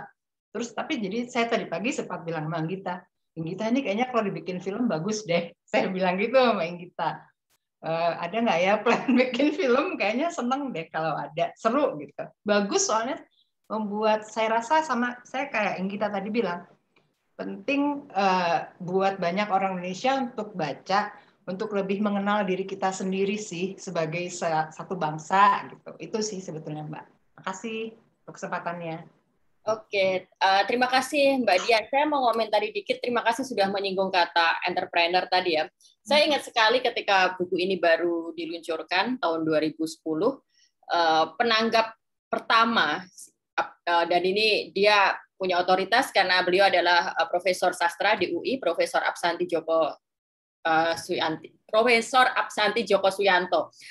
Yang digarisbawahi Prof Absanti adalah soal profesi, soal entrepreneurship ini. Jadi menurut beliau bagaimana saya menggambarkan seorang perempuan yang punya pekerjaan, seorang perempuan yang punya upaya, punya uh, wirausaha, ini yang menjadi kekuatan dan keunikan novel ini. Karena uh, kadang kan kita gini ya, kalau kita baca story atau kita nonton sinetron Indonesia lah, atau nonton film Indonesia, kita nggak pernah berpikir profesi yang betul-betul nyata. Kalau pasti protagonisnya bapaknya berangkat ke kantor tiap pagi pakai jas, rumahnya gede, mobilnya bagus, digambarkan bapaknya pengusaha aja. Tapi kan nggak jelas pengusaha apa. Jadi pembicaraan tentang profesi itu tidak pernah benar-benar real gitu. Seringkali tidak real dalam kebanyakan cerita kita. Nah, di sini saya menggambarkan manusia yang memang punya profesi, punya pekerjaan, bergelut dengan wirausaha dan betul-betul uh, itu yang dilakukan dan itu sebenarnya yang menjadi tulang punggung cerita. Jadi di luar soal kesedihan, di luar soal uh, segala hal yang dialami, kita lihat bagaimana seorang perempuan memperjuangkan dirinya dan kehidupannya dan itu selalu berkelindan dengan tantangan ekonomi. Hmm. Jadi kita kalau melihat kita kita uh, bicara misalnya kesetaraan lah kita bicara tentang uh, tadi uh, di pembukaan bahwa ini adalah cerita tentang orang orang miskin, orang kelas bawah dan sebagainya. Tapi ini kan sebenarnya tentang orang yang memang menghadapi tantangan ekonomi tapi kemudian berusaha untuk mengatasi itu, berusaha untuk uh, menyelesaikan itu dan kita lihat bahwa seorang perempuan bisa melakukan itu gitu. Jadi eh, novel ini bisa dilihat dari sisi yang lain juga bahwa tidak semata menjual soal kesedihan, tidak semata menunjukkan perempuan sebagai korban, tapi juga perempuan yang bisa melampaui itu. Soal film, ya saya saya sudah pada aja ya ini kan novel udah maksudnya saya saya berada di komunitas ekosistem industri ini juga udah cukup tahu ya cukup tahu bagaimana sebuah film itu diproduksi bagaimana sebuah uh, film dibuat. Itu kan sebenarnya cuma masalah uangnya ada atau enggak untuk produksi gitu. Dan tapi uh, dari sisi saya pribadi saya ingin memang saya betul-betul ingin untuk entrok dan novel-novel saya yang dewasa ini saya ingin novel itu lebih dulu dibaca jadi saya tidak ingin uh, keluar filmnya dulu tapi belum dibaca. Nah, tapi kalau sekarang usianya udah 10 tahun lebih, udah mendapat banyak pembaca, udah ya saya punya ukuran tersendiri soal bagaimana karya diterima, mungkin memang sudah waktunya juga. Jadi eh, Aku suka sekali. Mungkin dia dia mau uh, nyariin pendananya. Iya. Ya? Silakan. Ada, oh ya silakan Mbak Ati, silakan. Mbak Oki, terima kasih sekali bukunya ya. Ini uh, yang luar biasa karena seperti yang lain, saya tersentuhnya di banyak, di setiap halaman mungkin tersentuh, oh banyak sekali uh, terproyeksi orang-orang yang pernah saya tahu juga atau saya merasakan sendiri. Aku mau tanya Mbak Oki, um, apakah emang betul ada uh, tokoh yang seperti itu yang Mbak Oki lihat? Uh, apakah ini semua buatan Mbak Oki atau betul-betul ada it's so real sampai saya penasaran ada nggak sih orang seperti itu? Itu yang pertama. Yang kedua, kan udah 10 tahun ya, dan itu cerita bagus banget. Apakah ada rencana untuk membuat kedua gitu loh? Karena sekarang kan sudah seri berikutnya di mana kita pengen tahu apa yang kejadian dengan si anak ini, si Rahayu, apa kejadiannya, uh, dan periode sudah berganti. Jadi kalau misalnya ada seri kedua, kemungkinan um, bagaimana? Dan yang ketiga, um, kalau tidak salah ditulis bahwa uh, Mbak Oki menulisnya dari Singapura. Sekarang Mbak, apakah Mbak Oki di Singapura? Um, dan kalau iya, kenapa pindah ke Singapura? Uh, jadi uh, saya itu ada tulisan Singapura, itu adalah pengantar edisi 10 tahun pengantarnya. Pengantarnya saya tulis di Singapura. Kenapa saya di Singapura? Saya sedang menyelesaikan PhD di National University of Singapore. Gitu. Lalu kemudian eh, soal karakter dalam fiksi kita harus membacanya sebagai fiksi. Kebetulan kemarin saya baru mengisi simposium untuk Budi Dharma, saya sekalikan kutip aja karena materinya saya masih ingat uh, yang saya siapkan. Pak Budi Dharma orang yang dari awal mengkritik pengarah yang hanya mengandalkan autobiografinya yang hanya mengandalkan apa yang terjadi pada dirinya. Nggak akan pernah cukup itu. Akhirnya jatuhnya pada narsisme, pada keinginan untuk menceritakan hal-hal yang baik semata tentang dirinya. Makanya cerita-cerita yang tentang pokoknya uh, aku mau nulis nih uh, kisah hidupku apa ini biasanya nggak akan pernah jadi karya yang betul-betul berkesan atau berpengaruh karena memang mereka hanya mau menunjukkan hal-hal baiknya tentang itu. Nah, kalau kita mau menjadi pengarang, kita ambil itu sebagai inspirasi, tapi kemudian kita olah itu dengan imajinasi kita. Itu yang terjadi di Entrok. Entrok terinspirasi dari kehidupan nenek saya, tapi kemudian saya olah dengan imajinasi saya. Tentu eh, cerita tentang perempuan yang mendapatkan kesulitan Entrok itu real, itu memang terjadi dari nenek saya mengalami seperti itu. Nenek saya mengal eh, pekerjaan yang digambarkan Marni itu yang dilakukan oleh nenek saya tapi kemudian saya me, mem, mengcreate karakter sekuat hmm. mungkin. Saya mengcreate cerita. Bagaimanapun ini fiksi. Jadi saya uh, mengamati orang-orang di sekitar saya, mengamati keluarga saya, mengamati orang-orang di desa saya. Ada karakter guru uh, guru SD yang uh, seperti meledek atau menertawakan saya saya sudah banyak yang lupa ya cerita itu karena tapi seingat saya saya menulis karakter guru SD itu saya ambil dari karakter guru SD saya. Memang ada guru SD saya yang seperti itu, saya ambil gitu. Jadi eh, begitu cara kerja fiksi memang. Kita harus mengambil materi dari realita di sekitar kita, tapi kemudian kita olah dengan imajinasi kita. Kalau nggak seperti itu, nggak akan pernah berhasil ceritanya. Jadi membaca fiksi harus tetap sebagai fiksi, tapi melalui fiksi kita bisa gunakan itu untuk meneropong realita kita, untuk memahami realita kita. Soal apakah akan ada sequel enggak? Saya bukan orang yang uh, mengada-ngada untuk sebuah cerita. Entrok udah selesai entrok, saya fokus ke buku-buku saya yang lain kan. Saya sudah menerbitkan 10 fiksi. Uh, kalaupun saya punya semacam sequel, kemarin itu saya bikin novel anak. Jadi saya punya novel anak seri Mata dan kemarin sudah tamat juga empat buku. Itu pun bukan bersambung, tapi uh, novel anak dalam satu benang merah bisa dibaca terpisah dan saya rencanakan dari awal empat. Begitu empat selesai, sudah waktunya untuk move on, waktunya untuk uh, eksplorasi ke hal lain lagi. Terima kasih Mbak Oki. Silahkan yang baru bergabung Mbak Shanda, Mbak Karini. Ada boleh nanya? Boleh Mbak Uli, silahkan. Uh, halo Oki, aku uh, Uli, salam kenal. Setelah 10 tahun menulis buku Entro, uh, dengan kondisi 10 tahun yang lalu, menurut Mbak Oki, kan buku ini kental dengan kesetaraan gender, terutama dengan ya feminisnya lah dan sebagainya.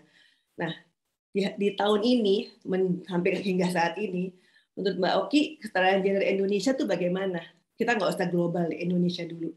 Dan kalau menurut saya keterangan gender itu lebih kerasa di kota besar, kayaknya di kota kecil atau mungkin bagian benang. Ini menurut saya ya, itu kayaknya eh, belum sampai. Bahkan ketika kita pun sudah berpendidikan tinggi dan kita harus kembali ke kampung halaman, kadang-kadang itu jadi benturan.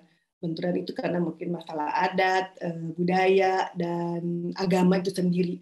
Dan agama itu selalu melekat pada setiap orang itu satu. Terus kedua, hmm, kadang kita lupa ketika kesetaraan itu sudah sejajar dan sudah tercapai untuk perempuan khususnya, kita menjadi punya power, punya power hingga akhirnya suka itu tidak mendatangkan kebahagiaan. Padahal hmm, kalau menurut saya lagi perempuan itu lebih banyak mencari kebahagiaan dibandingin laki-laki tujuannya gitu.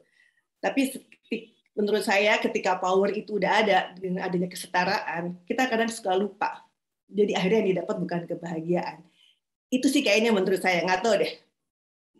Bener apa enggak itu aja. Terima kasih.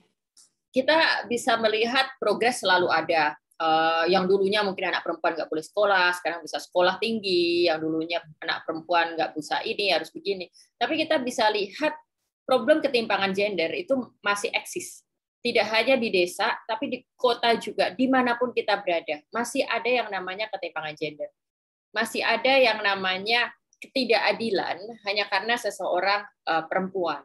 Dan itu tidak bisa diukur misalnya uh, secara personal. Saya di sini bisa di Singapura, saya bisa ngambil PhD, saya bisa melakukan hal apa pun. Mana berarti nggak ada dong problem ketampan gender saya menjadi bukti. Nggak bisa, kita nggak bisa mengukur itu dari apa yang terjadi pada diri kita saya juga yakin eh, mbak-mbak sekalian yang ada di hadapan saya ini sudah nggak ada problem dengan kesempatan, nggak ada problem dengan uh, apa ya ke kemampuan untuk memilih dengan izin dan sebagainya. Semuanya punya akses. Saya percaya itu semuanya punya akses. Tapi ketika kita bicara tentang ketidaksetaraan dan ketidakadilan, kita sedang berbicara sistem kan. Jadi ini ada memang sistem dalam masyarakat kita yang masih memandang perempuan dan laki-laki tidak sama, masih memandang uh, itu seharusnya dibedakan, itu seharusnya tidak diberi kesempatan yang sama. Banyak sekali problem yang uh, bisa kita urai nanti lebih dalam di dalam setiap profesi, dalam setiap pekerjaan, dalam setiap profesi. Kenapa misalnya uh, dokter spesialis kandungan tetap lebih banyak laki-laki. Dalam uh, terus nggak bisa juga dijawab. Kita kan sudah punya presiden perempuan, Bu Mega. Enggak, nggak bisa. Itu bukan menjadi indikator bahwa sudah tidak ada ketimpangan itu. Gitu. Jadi problem itu masih terjadi di mana-mana. Nah, uh, lalu kalau pertanyaannya nanti kalau kita perempuan sudah punya power, lebih setara, malah nggak nggak bahagia gitu. Saya nggak melihat ada rela, ada korelasi antara kebahagiaan dengan kesetaraan. Itu sesuatu yang hal yang berbeda. Tapi yang jelas ketika orang tidak setara, orang tidak bisa memilih apa yang dia mau, pasti tidak bahagia. Itu saya jamin. Nah, tapi itu bukan berarti ketika seseorang perempuan di rumah saja, itu artinya tidak setara. Enggak ketika seseorang perempuan memilih untuk menjadi stay home mom atas pilihan dia sendiri, di situ artinya dia sudah memiliki power untuk memilih. Di situ artinya dia punya kemerdekaan untuk memilih. Jadi kita juga tidak pada posisi untuk uh, menjudge itu. Kita tidak boleh untuk merendahkan orang yang memilih tinggal di rumah. Kita nggak boleh melihat kesetaraan gender itu artinya hanya untuk perempuan berkarir dan sebagainya. Enggak, ini lebih dari itu. Ini lebih ke mental perspektif bahwa setiap Eh, perempuan dan laki-laki itu memiliki hak yang setara untuk menentukan apa yang dilakukan dalam hidupnya. Nah, soal bahagia dan tidak bahagia nggak ada hubungannya dengan itu. Tapi yang pasti kalau tidak setara dan tidak bisa memilih, pasti tidak bahagia. Oke, jadi tolak ukurnya eh, masing-masing pasti berbeda ya. Dan perlu kesepakatan kalau dalam lingkungan kecil misalnya dalam hubungan keluarga itu perlu kesepakatan kedua belah pihak ya untuk mencapai apa yang dinamakan setara ya berarti ya. Eh, kesepakatannya adalah memang masing-masing tidak perlu mengorbankan apa-apa gitu. Jadi masing-masing bisa masalahnya kan gini. Ini kita kita nggak apa-apa ya kita sekarang jadi diskusi lebih ini aja deh.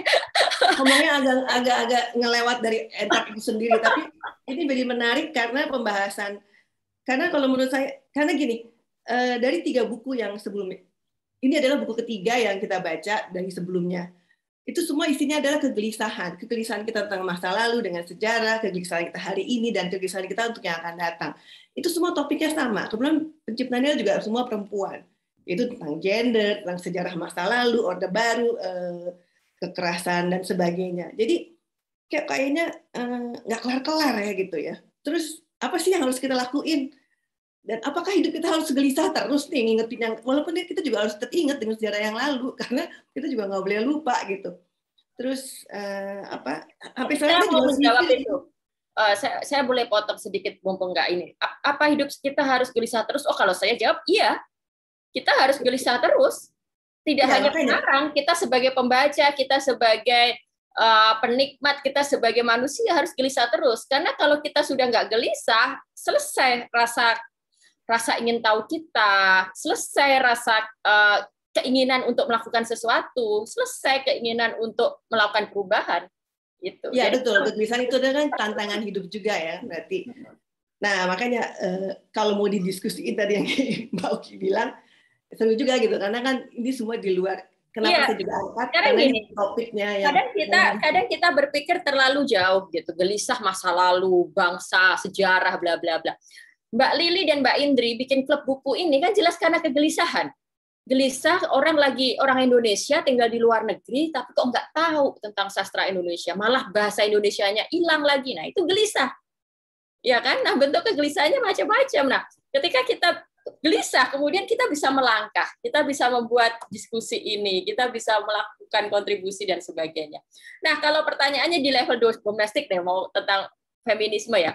Kalau seorang perempuan memang memilih mau, udah deh kayaknya aku lebih tenang dan lebih bahagia kalau aku full time di rumah karena dengan begitu aku bisa uh, aku bisa melakukan sesuatu yang itu aku inginkan gitu daripada aku stres kerja dan sebagainya gitu.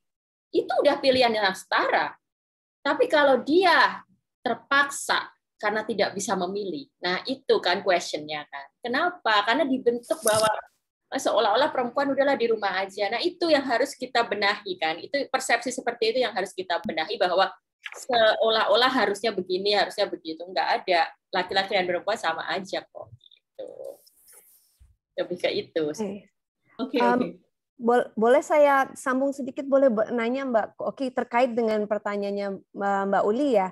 Um, soal apa kesetaraan gender dan segala macam dan soal feminisme dan soal independence itu uh, saya lihat di bukunya kan uh, tadi juga sempat dibahas sebelumnya juga soal poligami bahwa ada uh, tokohnya Rahayu juga dua kali dia jatuh ya tertarik atau ya sempat satu kali menikah benar-benar terus yang kemudian dengan guru agamanya itu uh, bagaimana mengkaitkan itu dengan pandangan Mbak Oki soal kesetaraan itu? Apakah mungkin karena Rahayu itu merupakan choice, dia memilih untuk menjadi istri kedua dari uh, suaminya itu yang pertama itu atau apakah dia terpaksa? Itu bagaimana pendapatnya Mbak Oki dengan terkait dengan kesetaraan gender itu?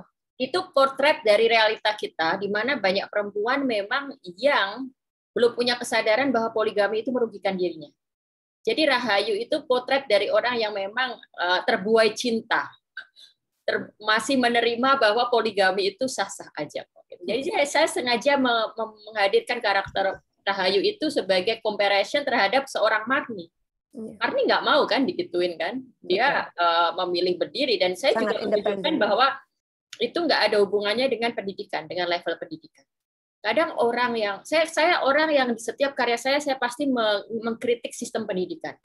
Jadi uh, di entrok itu kan saya mengkritik ternyata ada kalimatnya eh Allah ndok kok sekolah ternyata tidak membuatmu jadi manusia. Hmm. Jadi sistem pendidikan ternyata belum tentu membuat orang punya quality uh, intelektualitas yang baik atau kualitas mental yang baik. Dan seorang Marni yang hanya eh, nggak pernah sekolah justru memiliki karakter yang lebih kuat, yang hmm. memiliki kemerdekaan dalam berpikir lebih. Nah, ini adalah memang eh, saya sengaja menghadirkan itu. Tentu kalau kita kalau pertanyaannya adalah bagaimana pendapat saya menurut uh, pendapat saya poligami ya kita tahu poligami itu pasti merugikan perempuan. Pasti nggak ada perempuan yang bahagia walaupun katanya demi surga, demi apa, demi apa, tapi yang pasti dia seandainya gitu kan dia tidak akan memilih itu seandainya dia punya pilihan. Tapi kita juga harus membuka mata karena saya saya di bidang akademik kan saya latar belakang saya ilmu sosial ya. Saya jadi saya meneliti, saya melihat uh, fenomena. Kita juga harus melihat faktanya di masyarakat kita banyak perempuan mau poligami dengan tujuan untuk mengubah ekonomi dia, dengan tujuan pragmatis ingin Eh, mendapat kesempatan macam-macam lah. Itu juga bagian dari realita masyarakat kita. Nah, kalau saya, kalau kita nih, ini kan klub buku kebetulan semuanya perempuan ini, saya malah mau memicu kegelisahan uh, Mbak di sini, mungkin memang juga waktunya kita untuk tidak hanya sekedar menyalahkan uh, sistem atau menyalahkan laki-laki, tapi waktunya untuk saling menularkan kesadaran ke sesama perempuan sendiri. Apa pun kondisimu, poligami bukan pilihan. Itu itu salah satu yang ini. Kan kita bisa lihat di masyarakat kita, poligami ternyata juga menjadi dilakukan oleh orang-orang di kelompok kelas menengah, bahkan kelas menengah atas. Ya, dari pendidikan rendah sampai pendidikan tinggi. Karena memang mungkin mereka punya berbagai tujuan atau mereka simply nggak bisa milih, banyak faktornya. Nah, ini tujuan kita justru untuk menularkan kesadaran itu pada sesama perempuan bahwa poligami itu sama sekali bukan pilihan. Terima kasih. Very interesting conversation, Mbak Oki. Memang saya dengerinnya menarik banget. Nggak berarti lanjut, perempuan, lanjut. Nggak berarti perempuan ya, boleh ini kebetulan kalau ya. pesertanya perempuan semua ini, jadi udah memang sengaja, memang sengaja maunya perempuan aja lebih bebas. Tentang poligami okay. nggak berarti perempuan boleh bersuami banyak kan? Nah itu kan juga begitu kan di masyarakat kita masih belum menerima poliandri kan, tapi kalau poligami boleh. Nah itu kan berarti ada yang tidak setara di situ. Gitu. Tapi oke okay, mau menambahkan itu um, di zamannya um, buku dan film ayat-ayat cinta itu saya merasakan betapa itu film dibuat dengan sangat indahnya, tapi pesan poligami itu kuat sekali, tapi ditutup dengan romantisir yang luar biasa sehingga orang-orang waktu keluar, aduh itu film bagus sekali. Tapi untuk saya, saya merasa film itu bagus, tapi pesannya luar biasa uh, bahayanya untuk masyarakat Indonesia yang melihat uh, bahwa poligami di situ di seperti di disahkan dengan nama uh, agama itu yang untuk saya saya merasa mulai khawatir tapi ternyata semakin besar dan semakin banyak sekarang uh, terjadi. Tapi sesungguhnya kalau saya boleh cerita ya, kenapa kita uh, terlalu gelisah dengan poligami? Iya setuju, saya juga tidak setuju dengan poligami. Tapi uh, tahu nggak kalau di sini sekarang uh, ada yang namanya poli poliamori. Hmm. Pernah dengar nggak? Hmm. Poliamori itu adalah uh, semua orang saya, saya boleh Eh, berhubungan dengan siapa aja dengan diizini oleh pasangannya entahkah itu jadi disetujui oleh kedua belah pihak uh, Astagfirullahaladzim, amit suami saya boleh juga saya izinin untuk berhubungan dengan orang lain, mau itu sejenis ataupun tidak sejenis. Begitu pula saya, tapi mereka eh, komunitasnya adalah orangnya memang sesama penganut itu. Ini menurut saya juga agak bahaya ya, eh, karena mungkin ini eh, dobrakan dari kesetaraan yang diinginkan antara poliandri dan poligami jadi bisa timbul di hal seperti ini. Gitu. Itu terjadi dan di Indonesia ada. Saya tahu kenapa kebetulan saya punya satu orang yang saya kenal dan saya kaget. dan rata-rata itu kalangan muda yang umurnya 30 ke 40 30 gitu. Jadi sedih banget kalau itu sampai kejadian. Ini saja jangan-jangan sama dari... nih Uli orangnya. Jangan-jangan sama orangnya. itu juga. Gitu. Nah itu justru sebenarnya harus menjadi concern juga di mana kita perempuan nggak hanya teriak-teriak sebagai poligami karena ya ada ada sekelompok yang seperti itu. Itu aja sih.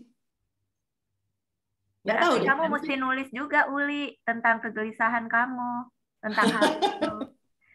Nulis tapi yang jelas tapi yang jelas tokoh-tokoh perempuan yang di dalam Entrop ini uh, meskipun mereka mengalami ketidaksetaraan kedua-duanya adalah perempuan-perempuan yang sangat kuat kepribadiannya. Uh, uh, uh, ya, untuk mengatakan banget. untuk mengatakan mereka lemah sama sekali tidak ini two very strong women uh, and yang uh, kedua-duanya berpegang teguh uh, pada prinsip-prinsip hidup yang uh, mereka anut. Nah, apakah di novel-novel um, Mbak Oki sengaja uh, mengangkat kekuatan perempuan ini dalam rangka mengangkat uh, masalah kesetara, kesetaraan atau adakah cerita perempuan-perempuan yang betul-betul apa uh, tak berdaya uh, lemah pasrah ada nggak yang kayak gitu tokohnya di buku-buku berikutnya Mbak Oki? Lupa saya. Jadi uh, dan ketika kita, saya bicara saya menggunakan saya pasti punya perspektif feminis bla bla bla itu kan tidak berarti tokohnya harus perempuan. Kadang saya kadang kala saya punya tokoh laki-laki dan sebagainya. Oh, novel saya yang kedua judulnya 86 itu tokoh utamanya perempuan, tapi kemudian dia ikut korupsi. Jadi 86 itu cerita tentang korupsi. Itu inspirasinya saya dulu pernah jadi wartawan, ngepost di KPK, liputan di KPK. Jadi saya bikin novel, saya mau ngangkat isu korupsi tapi dalam karya sastra karena saya mau menunjukkan dampaknya pada manusia kan. Saya buat karakter perempuan kerja sebagai tukang ketik di pengadilan uh, di kejaksaan. Bosnya perempuan, bosnya korupsi, ini si tukang ketik ini kan pegawai rendahan. Awalnya enggak lah cuma pegawai jujur gini-gini. Tapi kalau bosnya udah aduh tolong dong ini nanti kamu dapat, tolong dong ini dapat. Akhirnya dua ini, dua tokoh perempuan ini masuk penjara. Jadi si panitera, panitera namanya Danti, juru ketik rendahan ini namanya Arimbi, dua-duanya perempuan, dua-duanya korupsi. Dan dua-duanya ya begitu. Nanti kita kita mungkin bisa next itu buku buku 86 ini apalagi di tengah situasi KPK yang seperti ini kan. Jadi saya sedikit menyinggung soal KPK ini. Jadi kadang uh, punya perspektif feminis atau uh, mau memperjuangkan kesetaraan bukan berarti kita harus selalu menempatkan perempuan sebagai hero sebagai pahlawannya. Enggak. Kita mau menggambarkan saja bagaimana memang uh, masih banyak problem di mana-mana. Ketika kita ingin agar perempuan maju punya kuota dalam politik, punya kuota dalam kepemimpinan. Lah, ini ada masih ada masalah ternyata ada kenyataan ketika perempuan dapat kesempatan dia korupsi juga. Nah, terus kemarin yang kasus KPK yang terbaru yang salah satu wakil ketuanya uh, ternyata punya hubungan dengan uh, apa yang tersangka perempuan juga. Jadi kan kita uh, harus harus fair juga melihat realita. Gitu. Jadi novel kedua saya perempuan tapi itu. Jadi tidak sebagai hero tapi justru sebagai koruptornya. Itu kejadian tuh jaksa Pinangki itu. Nah, ya kan? Oh iya, betul persis. Saya di mention banyak orang karena itu sama-sama jaksa ya, sama-sama jaksa dan sama-sama terjadi. Betul, betul sekali. Saya rasa makin banyak sekarang korupsi yang dilakukan oleh perempuan karena kalau di dalam apa namanya uh, dunia pekerjaan gitu, wanita lebih fleksibel dan lebih apa ya? Dia lebih bisa masuk ke kiri dan ke kanan gitu. Ada yang jago banget bisa lobbying dan negosiasi dengan uh, kelompok pria gitu kan. Ya, lebih luas ya. Lebih luas. Tapi gitu. ini, lebih asertif, lebih luas. Ini fakta ini menarik sekaligus menyedihkan karena kan awalnya kita berharap perempuan maju karena katanya itu bisa mengimbangi kebuasan keganasan. oh, bisa lebih buas. Ternyata Jadi makanya ada Queen. okay. Tadi ada Mbak Rita yang raise hand. Silakan Mbak Rita. Uh, saya ada pertanyaan.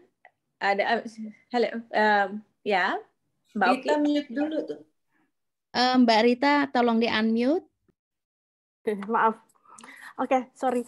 Um, Mbak Oki, kebanyakan bukunya Mbak Oki itu kan menyorot kritik sosial ya, sebetulnya tuh kritik sosial. Apalagi memang uh, latar belakang pendidikannya juga ilmu sosial dan pernah jadi jurnalis dan sebagainya.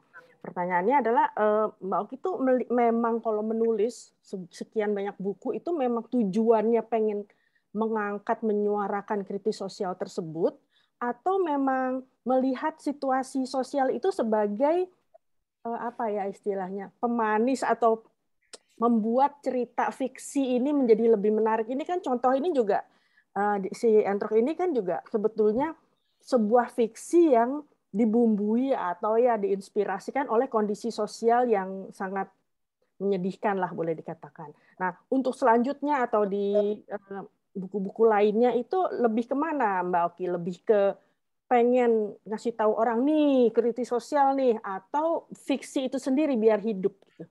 Ya, jadi kalau kita bicara novel itu pertama-tama pasti prinsipnya adalah prinsip storytelling. Jadi hmm. kita mau bercerita sebagus-bagusnya. Maka kalau kita lihat banyak kan misalnya ada pejabat nulis novel gitu, novelisasi hidupnya atau gimana gitu. Pasti nggak bisa jadi cerita yang bagus karena dia nggak bercerita, tapi di, uh, lebih berat peristiwa untuk menggambarkan peristiwa tertentu. Jadi sering kali hmm. jadi dokumen sejarah, dokumen, yeah. jadi salah dan sebagainya. Tapi untuk menulis novel yang baik, Tujuan kita pertama adalah bercerita. Tapi kalau kita punya background, kita punya saya mengutip Pak Budi Dharma ya, karena baru kemarin saya uh, deliver simposium itu seorang penulis harus punya intelektualitas. Itu yang dikatakan oleh Budi Dharma.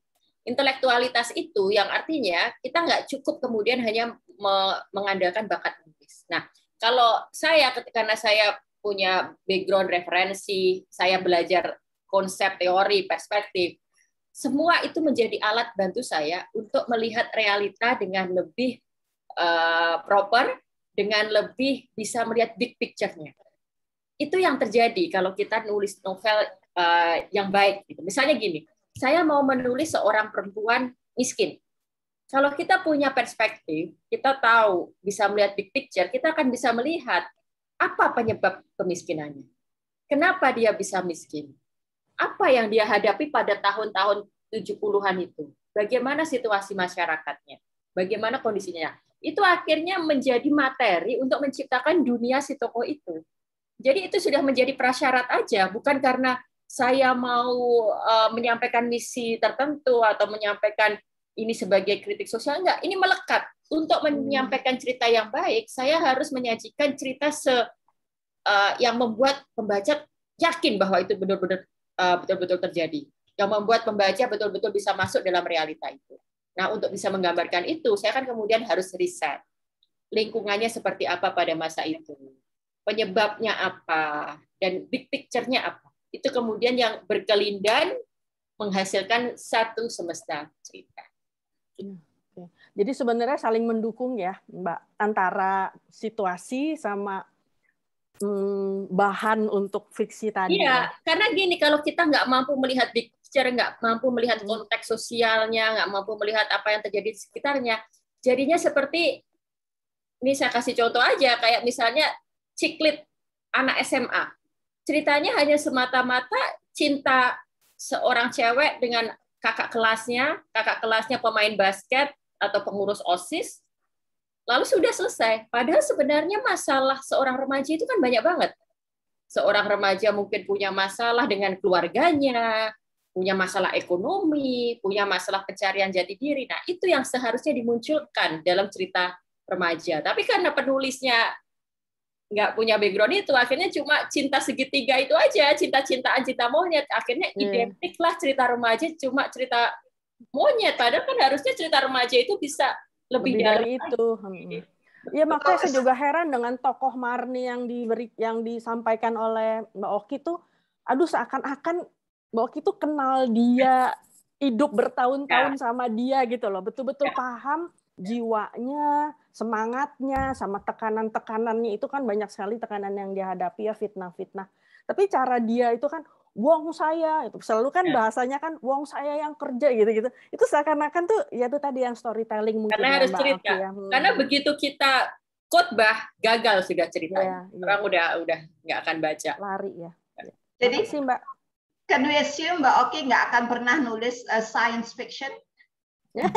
science fiction di novel seri anak-anak. Jadi seri Mata itu seri Mata yang terbaru baru terbit bulan Juli lalu, judulnya Mata dan Nyala Api Purba. Itu tokohnya dari masa depan, future, kembali ke masa purba.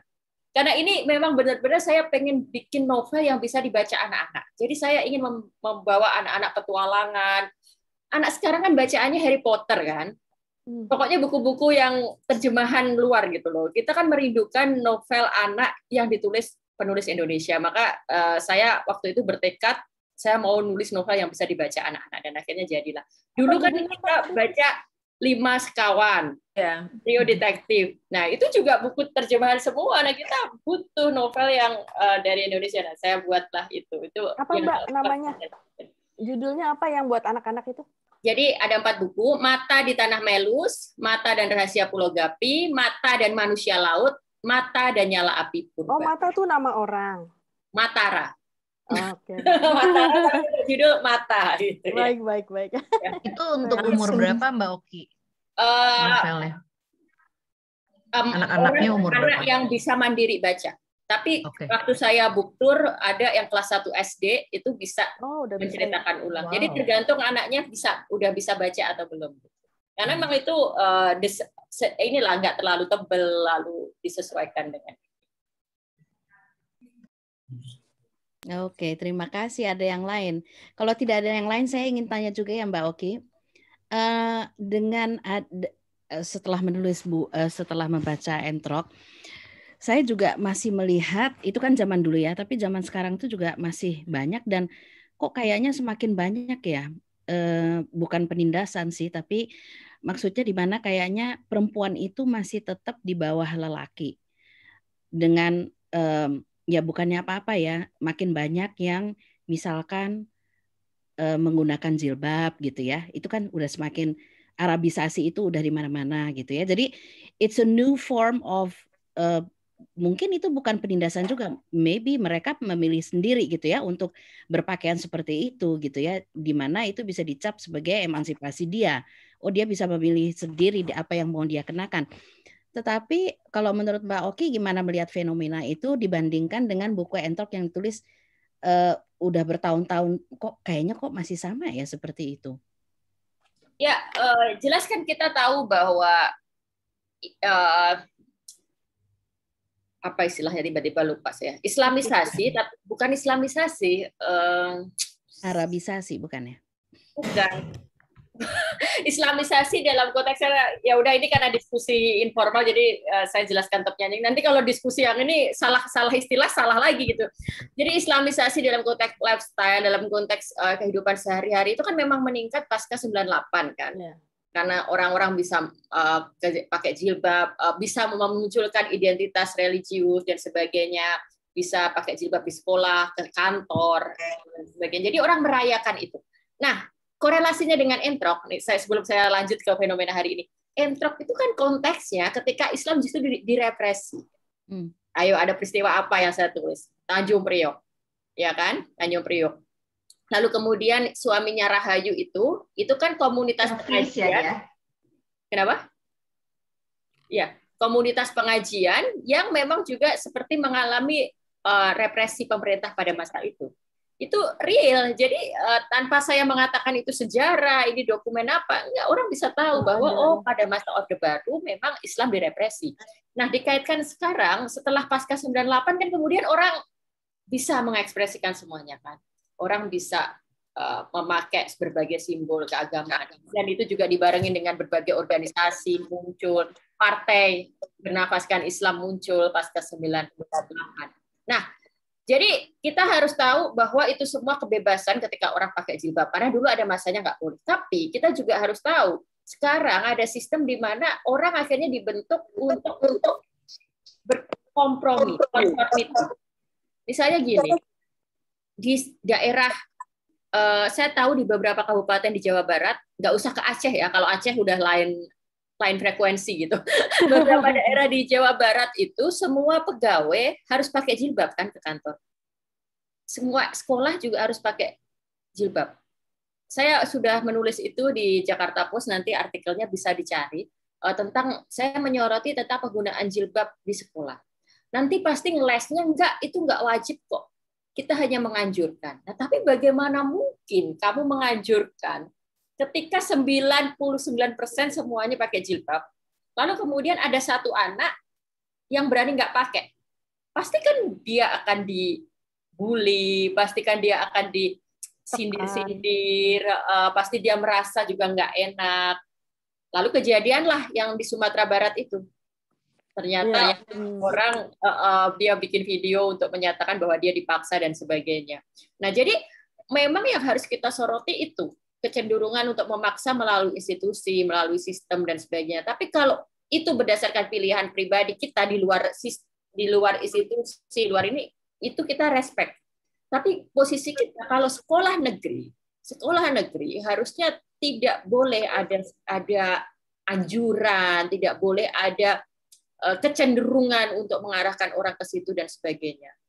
Termasuk pegawai negeri, pegawai negeri harusnya tidak diarahkan ke situ itu itu yang harus kita soroti bareng. Lalu 9 after 98 kita juga melihat adanya kebangkitan pop culture yang memang bernuansa Islami. Tadi sudah dimention sama Mbak Ati soal ayat-ayat cinta. Nah, itu kebetulan keahlian saya sekali. Saya saya punya riset di bidang itu kan. Uh, ini saya tambahin bacaan ya. Silahkan diunduh gratis. Ini bukan fiksi. Uh, ini buku saya. Uh, jadi banyak sekarang ini buku-buku, film-film berlabel Islami, Islami, Islami, Islam. Tapi kalau kita baca dan kita tonton betul-betul, apanya yang Islami nih? Ternyata ayat-ayat cinta isinya kan cuma poligami. Saya saya betul-betul baca ayat-ayat cinta itu karena saya meneliti. Jadi saya dari depan saya belakang saya saya baca. Islaminya hanya dilihat dari assalamualaikum atau mungkin digambarkan uh, tokohnya pakai jilbab dan sebagainya, lalu sholat dan sebagainya. Tapi inti ceritanya itu poligami, memang betul-betul tentang bagaimana uh, kita dibuai oleh mimpi laki-laki miskin Indonesia, ganteng, bisa kuliah di Kairo, tapi kemudian di sana dia dikejar-kejar oleh perempuan. Nah, ini yang harus juga kita kemudian kita counter. Narasi-narasi kayak gini kita counter. Jadi Eh, sastra pun akhirnya jadi medan pertarungan kan, medan pertarungan untuk menularkan gagasan. Tapi kan sedihnya kita tahu novel seperti ayat-ayat cinta best selling. Ketika dibikin film yang nonton jutaan orang.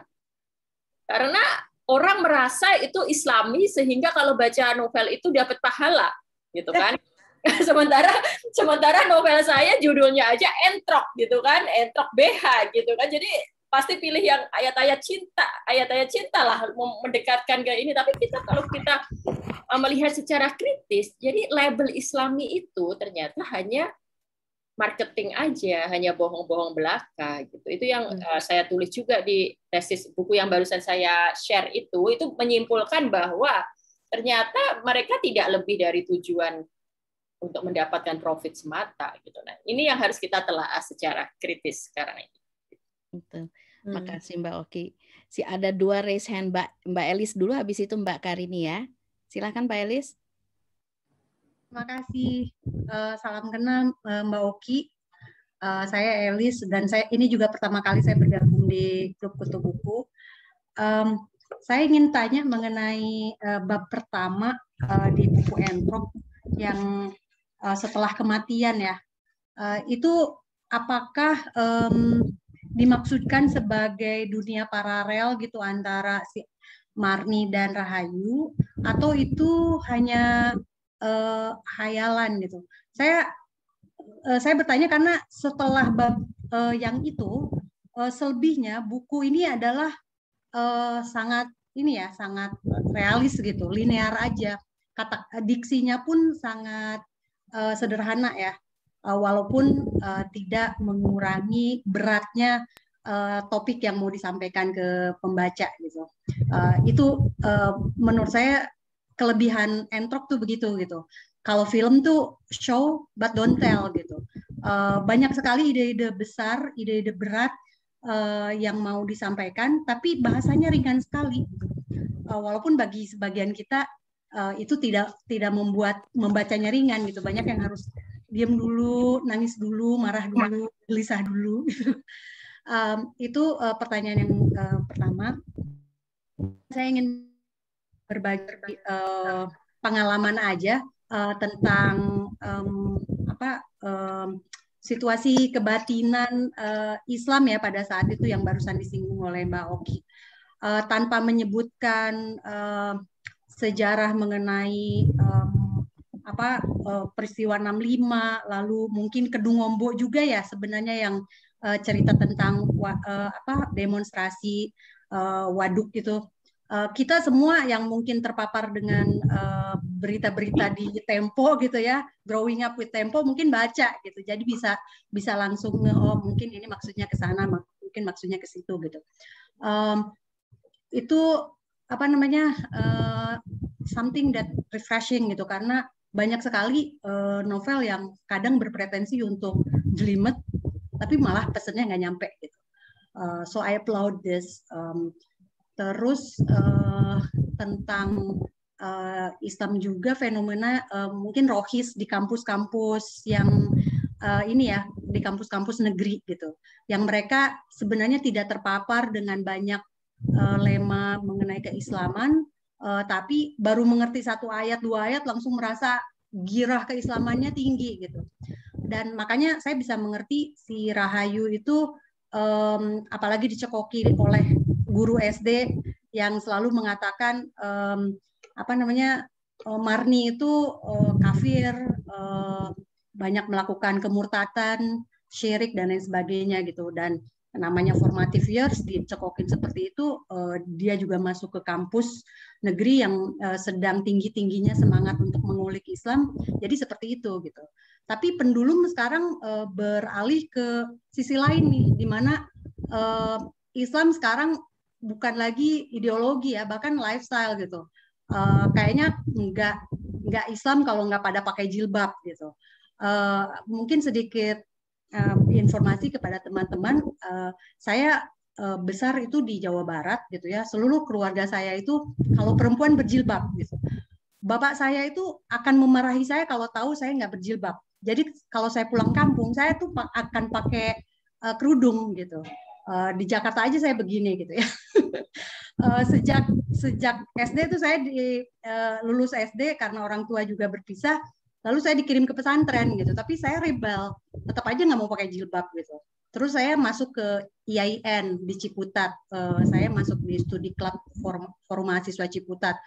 Jadi semua pelajaran agama yang saya pelajar yang saya uh, tahu banyak dari enam tahun di pesantren dan lima tahun di Ciputat terdekonstruksi lagi gitu nggak selalu itu adalah kebenaran yang mutlak gitu Uh, dan bagi saya agama itu harus selalu relevan dengan zaman ya, um, harus di, diaktualisasi gitu.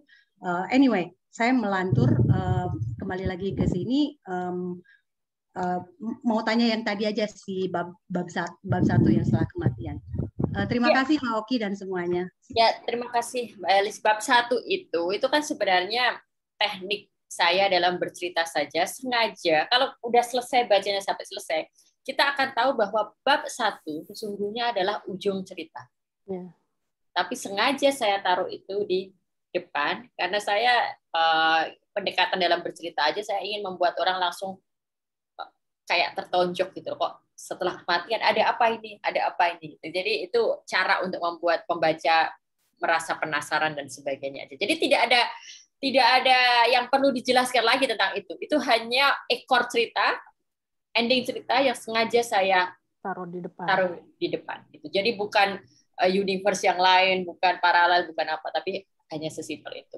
Soal uh, saya bahasa saya muda itu memang uh, prinsip saya. Kalau saya menulis apa pun itu artinya kan saya sedang berkomunikasi ke orang bukan untuk diri saya sendiri. Apalagi kalau nulis novel itu kan sedang bercerita.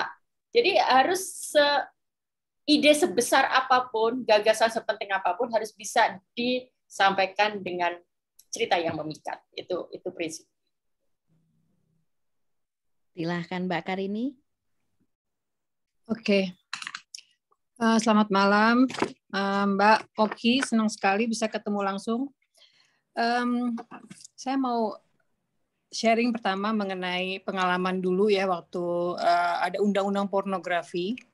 Kalau masih ingat dulu, um, saya rasa uh, mungkin di, di antara kita ada yang ikut ikut juga ya terlibat dalam uh, apa namanya demonstrasi atau apa mengenai undang-undang pornografi kurang lebih tahun berapa ya itu, itu awal 2000-an ya atau akhir 9 90-an gitu loh.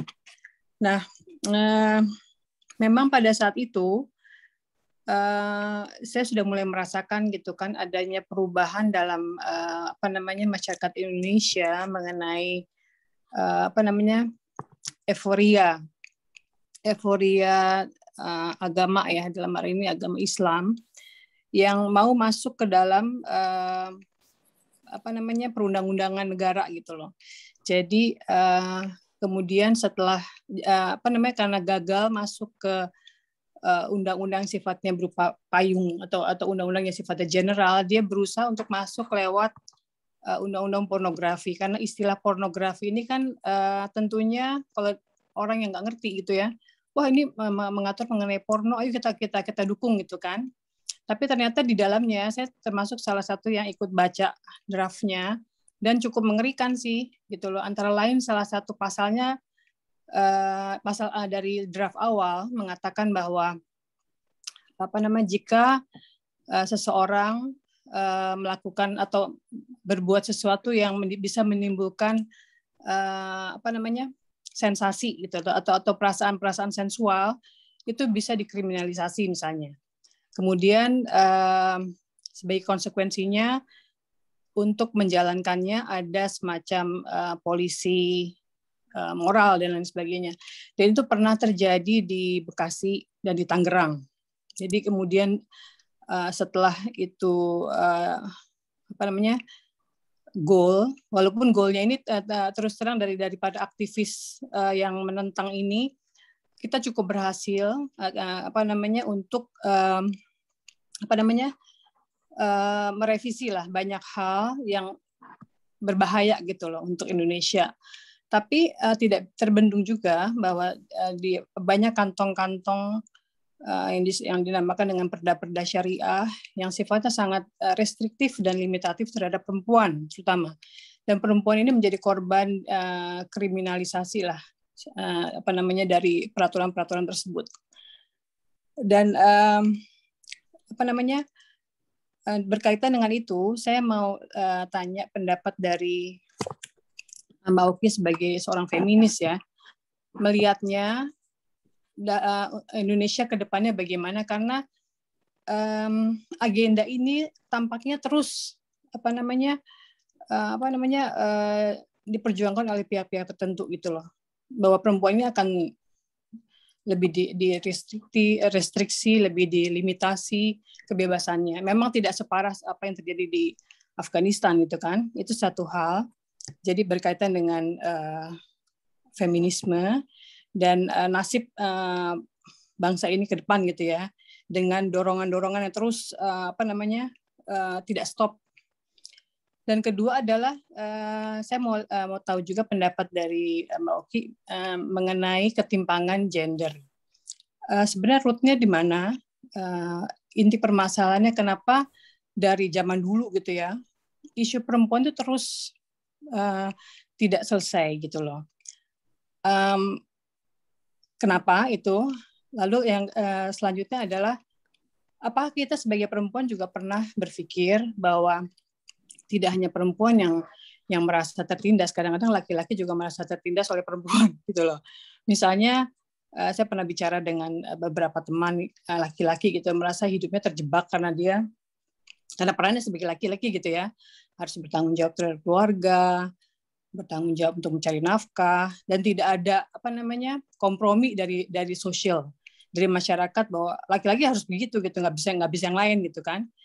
Apakah uh, ada semacam bagaimana pendapatnya Mbak Oki mengenai uh, sudut pandang kalau kita menempatkan diri pada pihak laki-laki gitu? Ya uh, pertanyaannya Oke, saya coba jawab satu-satu. Uh, tadi soal pornografi apa itu kan uh, uraian dari Mbak Karini. Ya. Kalau pertanyaannya tentang bagaimana pendapat saya kira-kira Indonesia bagaimana ke depan, pertama saya orang yang yakin Indonesia tidak akan menuju ke negara Islam. Kita sudah bisa melihat uh, perjalanan berbagai pemilu, kita sudah melihat bagaimana komposisi partai Islam dan walaupun banyak yang mengusung partai Islam tapi ternyata tetap Indonesia seperti ini. Tapi memang ada kecenderungan menarik uh, Islamisasi di level lifestyle di level yang mau mengontrol individu. Jadi bentuknya tetap negara seperti negara Indonesia ini tapi selalu mau ada regulasi yang mau uh, diterbitkan untuk mengontrol individu. Nah dan ini selamanya akhirnya menjadi ladang para politisi untuk dimanfaatkan untuk kepentingan politik. Misalnya kalau kita bicara yang terbaru ini undang-undang perlindungan kekerasan seksual. Itu kan sebenarnya jadi dari judulnya saja sudah seharusnya semua orang menerima dong ya. Itu kan sebuah undang-undang yang akan melindungi setiap orang dari korban eh, kekerasan seksual bla bla bla dan sebagainya. Faktanya di parlemen itu ditolak karena hmm. dianggap itu nanti akan menyebarkan free sex lah, ini agenda para liberal lah, ini bla bla bla gitu. Jadi ini seperti battleground gitu selamanya itu.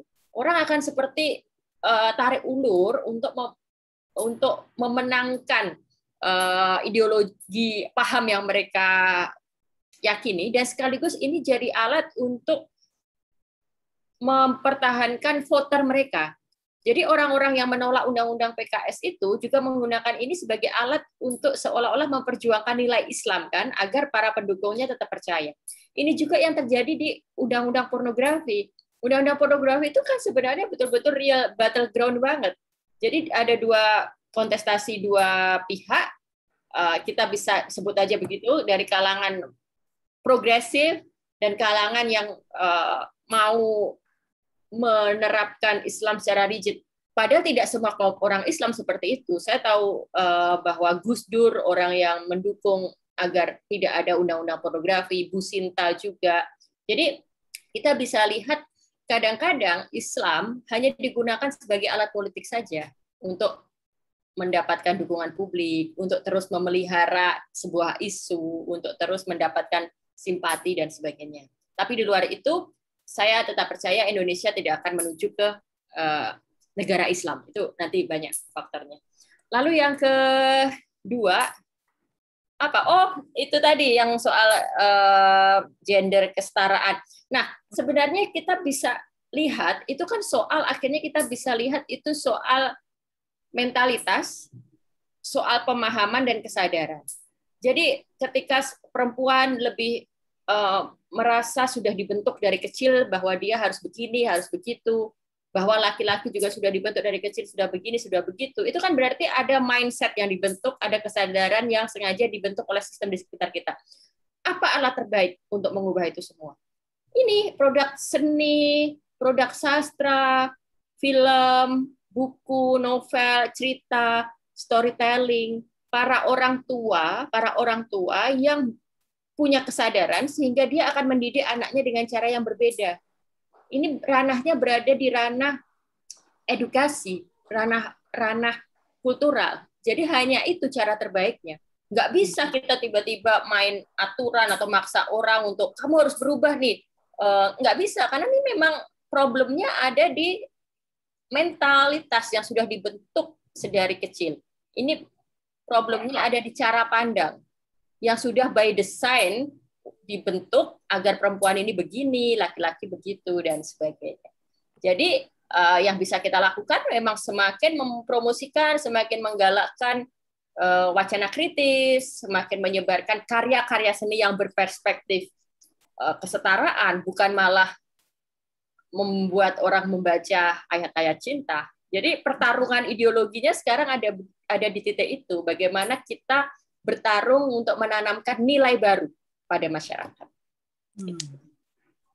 Mbak Oki, boleh kasih contoh nggak apa tuh eh, kira-kira yang menunjukkan indikasi bahwa eh, nggak akan berubah menjadi negara Islam? Satu aja, kalau panjang. Karena kita sudah uh, itu nanti kan kita tetap pemilu, kita bisa melihat uh, perolehan suara pemilu, komposisinya bagaimana, dan kita bisa lihat kan uh, partai Islam dukungan kepada partai Islam sejauh ini seperti apa. Sementara partai-partai yang misalnya PDIP, Golkar, atau partainya apa saja sih, Demokrat, itu kan bukan partai yang mendukung agenda Islam. Sudah jelas itu. Nah, komposisi yang let's say PKS gitu kan, dari dari dulu kan porsinya hanya sekecil itu. Sementara partai Islam yang lain, walaupun mereka bernasabkan Islam, tapi mereka tidak seperti PKS, misalnya PKB atau PAN, mereka lain haluan dengan PKS. Jadi bisa dikatakan yang punya agenda untuk melakukan itu kan sebenarnya hanya partai yang PKS aja, tapi kita bisa lihat eh, perolehan suara mereka hanya seperti itu saja. Dan itu representasi dari apa yang diinginkan masyarakat kalau untuk agenda agenda ini enggak. Orang tua saya di Jawa, di Jawa di Magetan sana kita tahu sekarang kalau semuanya pakai jilbab semuanya uh, semakin ini. Tapi kalau politik mereka nggak akan percaya pada uh, seperti PKS dan sebagainya. Mereka nggak melihat itu sebagai sebuah uh, kebutuhan. Mereka tidak melihat itu bagian dari bagian dari upaya untuk mendapatkan surga itu tidak dilihat dari politisasi pembentukan sebuah negara Islam. Hmm. Okay. Tapi bagaimana di daerah di daerah seperti Kalimantan atau di daerah-daerah kecil di mana kita melihat sekarang uh, semakin sering um, uh, hate speech ya yang ada di mana um, di disebarkan dan juga dari buku Mbak Oki sendiri di mana jelas sekali walaupun ada satu tokoh yang kuat seperti Mbak Oki tapi dia tetap dikalahkan oleh 99% orang desa itu. Yang percaya hanya anaknya dia sendiri, tapi di luar itu semua menentang dia terus-menerus. Dan saya melihat itu yang kejadian sekarang. Eh, kita bisa melawan, tapi 99% terus sudah seperti tercuci otak itu loh yang eh, membuat ya, kegelisahan. Ya, sebenarnya kan apa yang terjadi di kasus Ahok kemarin kan juga bisa jadi case. Uh, dalam urusan kasus Ahok kemarin, kalau kita kita bisa melihat orang demo turun kan, orang bisa lihat bahkan nggak tahu kasusnya apa, tapi kita itu menghina Islam tuh, itu menghina Islam loh, ikut-ikutan. Tapi ternyata cuma sampai di titik itu. Mereka hmm. hanya terbakar untuk di case Ahok aja, karena mereka bisa dibakar itu. Tapi mereka tidak ada agenda untuk uh, kalau pertanyaannya Indonesia menuju negara Islam, ya, saya tidak melihat sama sekali indikasi itu. Uh, by the way, saya bisa ini saya share bacaan lagi ya. Uh, kebetulan saya baru, wah sorry salah link. Ada satu, saya punya satu tulisan terbaru, tulisan di jurnal, jurnal internasional. Jadi ini menyentuh soal undang-undang pornografi, menyentuh soal bagaimana dampaknya ke seni, ke sastra dan sebagainya. Bisa diklik judulnya Shall We Dance. Jadi saya dari dari zaman undang-undang pornografi sampai sekarang ini kecenderungannya lalu ada kasus Inul ingat nggak kasus Inul hmm. yang di ban dan sebagainya itu itu tentang ini tulisan saya ini jadi mungkin nanti bisa tambahan referensi dan ini di sini juga ada alasan kenapa uh, kita tidak melihatlah indikasi bahwa Indonesia akan uh, walaupun makin konservatif iya jadi makin konservatif kita makin konservatif tapi kita tidak akan menjadi negara Islam itu totally different thing gitu loh bicara sebagai negara Islam dan bicara masyarakatnya jadi konservatif itu dua hal yang berbeda tapi just as bad Gimana? Tetapi menurut saya just as bad. Ya, ya, ya itu itu hal lain lagi ya kalau itu. Kalau boleh saya menanggapi ya Mbak. Ya. Uh, gini, saya kan istri pegawai negeri di Kemlu. Foto itu kalau kita pakai seragam ya, pokoknya kalau yang nggak pakai jilbab itu pasti Kristen. itu makin, aduh, makin banyak dan saya exemption. Jujur, saya saya exemption. Untungnya waktu itu ibu dubes saya dan ibu wakil uh, wakil duta besarnya masih nggak pakai walaupun Islam ya, tapi belum pakai. Jadi saya masih selamat. Tetapi saya khawatir juga ada kekhawatiran di diri saya. Apakah saya harus conform gitu loh dengan dengan adanya eh, karena ya saya di lingkungan itu kan. Terus lama-lama semua satu persatu tuh pakai. Jadi benar-benar kalau kita foto tuh majority itu udah ini kecuali oh ini yang Kristen, yang Kristen, yang Kristen gitu loh. Jadi udah udah kayaknya rasanya udah kayak aduh gitu. Jadi seperti tidak ada kebebasan lagi gitu. Menujunya ya, kalau Mbak Oki kan bilang memang kita nggak nggak akan menuju negara Islam, tetapi it looks like it so much gitu kan, ya, karena ya. di jalanan banyak dengan uh, sari dan sebagainya kan, jadi kita akhirnya loh kok jadi nggak comfort ya, lantas kita jadi seperti kayak dilihatnya, oh ini kamu Kristen ya pasti. Ya itu yang saya bilang tadi soal sekolah, soal pegawai negeri daerah, memang seolah-olah tidak ada aturan, tapi kemudian ada anjuran. Kalau ini kan nggak ada anjuran dari Kemlu nggak ada kan hanya karena orang begitu lalu kita merasa belum. kok begitu. Uh, nah untuk hal ini masalahnya tidak ada jalan lain kalau kita memang mau melawan dalam tanda kutip selain yang saya bilang tadi lewat pendidikan, lewat diskusi kritis, lewat karya seni. Di luar itu kita nanti akan menjadi fasis dan itu saya nggak uh, saya jelas nggak akan setuju. Jadi kita nggak bisa menggugat orang yang pakai jilbab, kita nggak bisa mengkritik orang yang pakai sari karena itu memang kebebasan dia.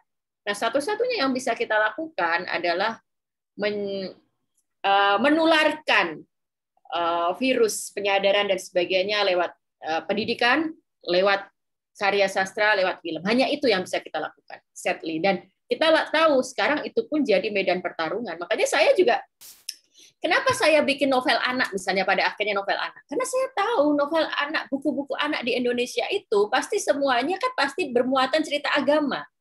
Jadi buku anak disam, disamakan dengan buku agama, dengan uh, kisah-kisah uh, nabi dan sebagainya. Hanya itu bukan berarti itu buruk, enggak. Saya juga ingin mengenalkan anak saya dengan kisah agama. Tapi kalau anak-anak hanya bacanya itu, itu sangat berbahaya jadi saya menulis novel anak itu sudah saya anggap sebagai jihad saya gitu, jihad saya untuk uh, merebut kesadaran anak-anak, untuk menanamkan nilai di anak-anak. Padahal kan buku anak itu kan sangat besar uh, dampaknya pada anak-anak. Anak-anak itu kan sangat terpengaruh pada apa yang dibaca. Kalau bacaan anak kemudian penuh dengan yaitu sudah memandang orang berbeda, hanya tahu harus begini, harus begitu ya udah. Itulah uh, red apa bendera merah udah lampu merah sekali untuk Indonesia di masa depan. Makanya itu yang harus jadi perhatian kita sekarang merebut untuk menanamkan nilai. Setuju Mbak. Ini saya mau mau sedikit lagi ya contoh uh, saudara sendiri. Jadi dia pakai jilbab karena anaknya itu sekolah di Bandung di al apa yang ITB itu eh, SD pokoknya Islam lah ya pokoknya Salman SD Salman Lantas dia pulang, dia anaknya masih SD. Terus dia bilang, "Mah, mama nanti kalau nggak pakai hijab nanti um, masuk neraka nanti rambutnya dijadiin apalah pokoknya dia sesuai dengan dengan uh, Al-Qur'an gitu kan. Jadi nah si ibu ya walaupun kita pendidikannya sama ya, kita sedikit liberal lah gitu ya keluarga saya. Uh, si uh, apa namanya si ibunya sendiri terus jadi jadi bingung kan aduh gimana ya gimana ya? Ya udahlah pakai gitu. Sebenarnya pakai karena anaknya ketakutan ibunya akan masuk neraka gitu loh. Padahal kan seharusnya kan dia menyampaikan kan ya seperti anak saya sendiri juga kan banyak yang dia pertanyakan ya kita luruskan sesuai dengan latar belakang kita dan kepercayaan kita gitu ya valuesnya kita.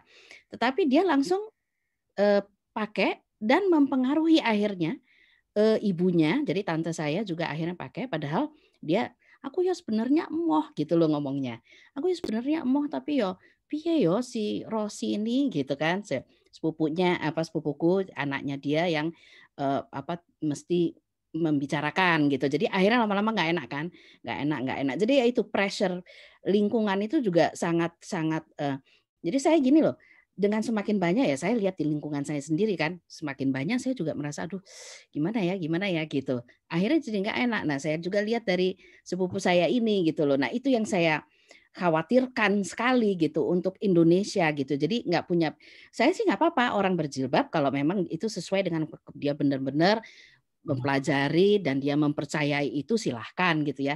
Tapi saya takut yang seperti sepupu saya gitu loh. Karena si guru agamanya yang dia juga belum tentu setuju, akhirnya dia eh, karena pressure dari social pressure itu.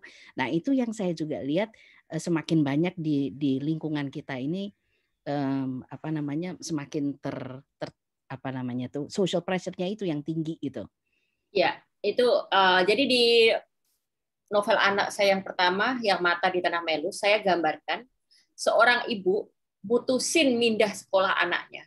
Gara-garanya anaknya pulang sekolah bilang e, nanti kita di neraka punggungnya disetrika disetrika sampai terbakar dan sebagainya. Nah ibunya kemudian langsung ke sekolah protes. Hmm. kok bisa kayak gitu? Nah nggak diterima dong nggak didengerin sama gurunya. Lalu ibunya mutusin untuk mindahin anak sekolah. Itu cerita yang saya tulis di situ. Kenapa karena saya melihat itu yang jadi problem kita sekarang ini di bidang pendidikan juga.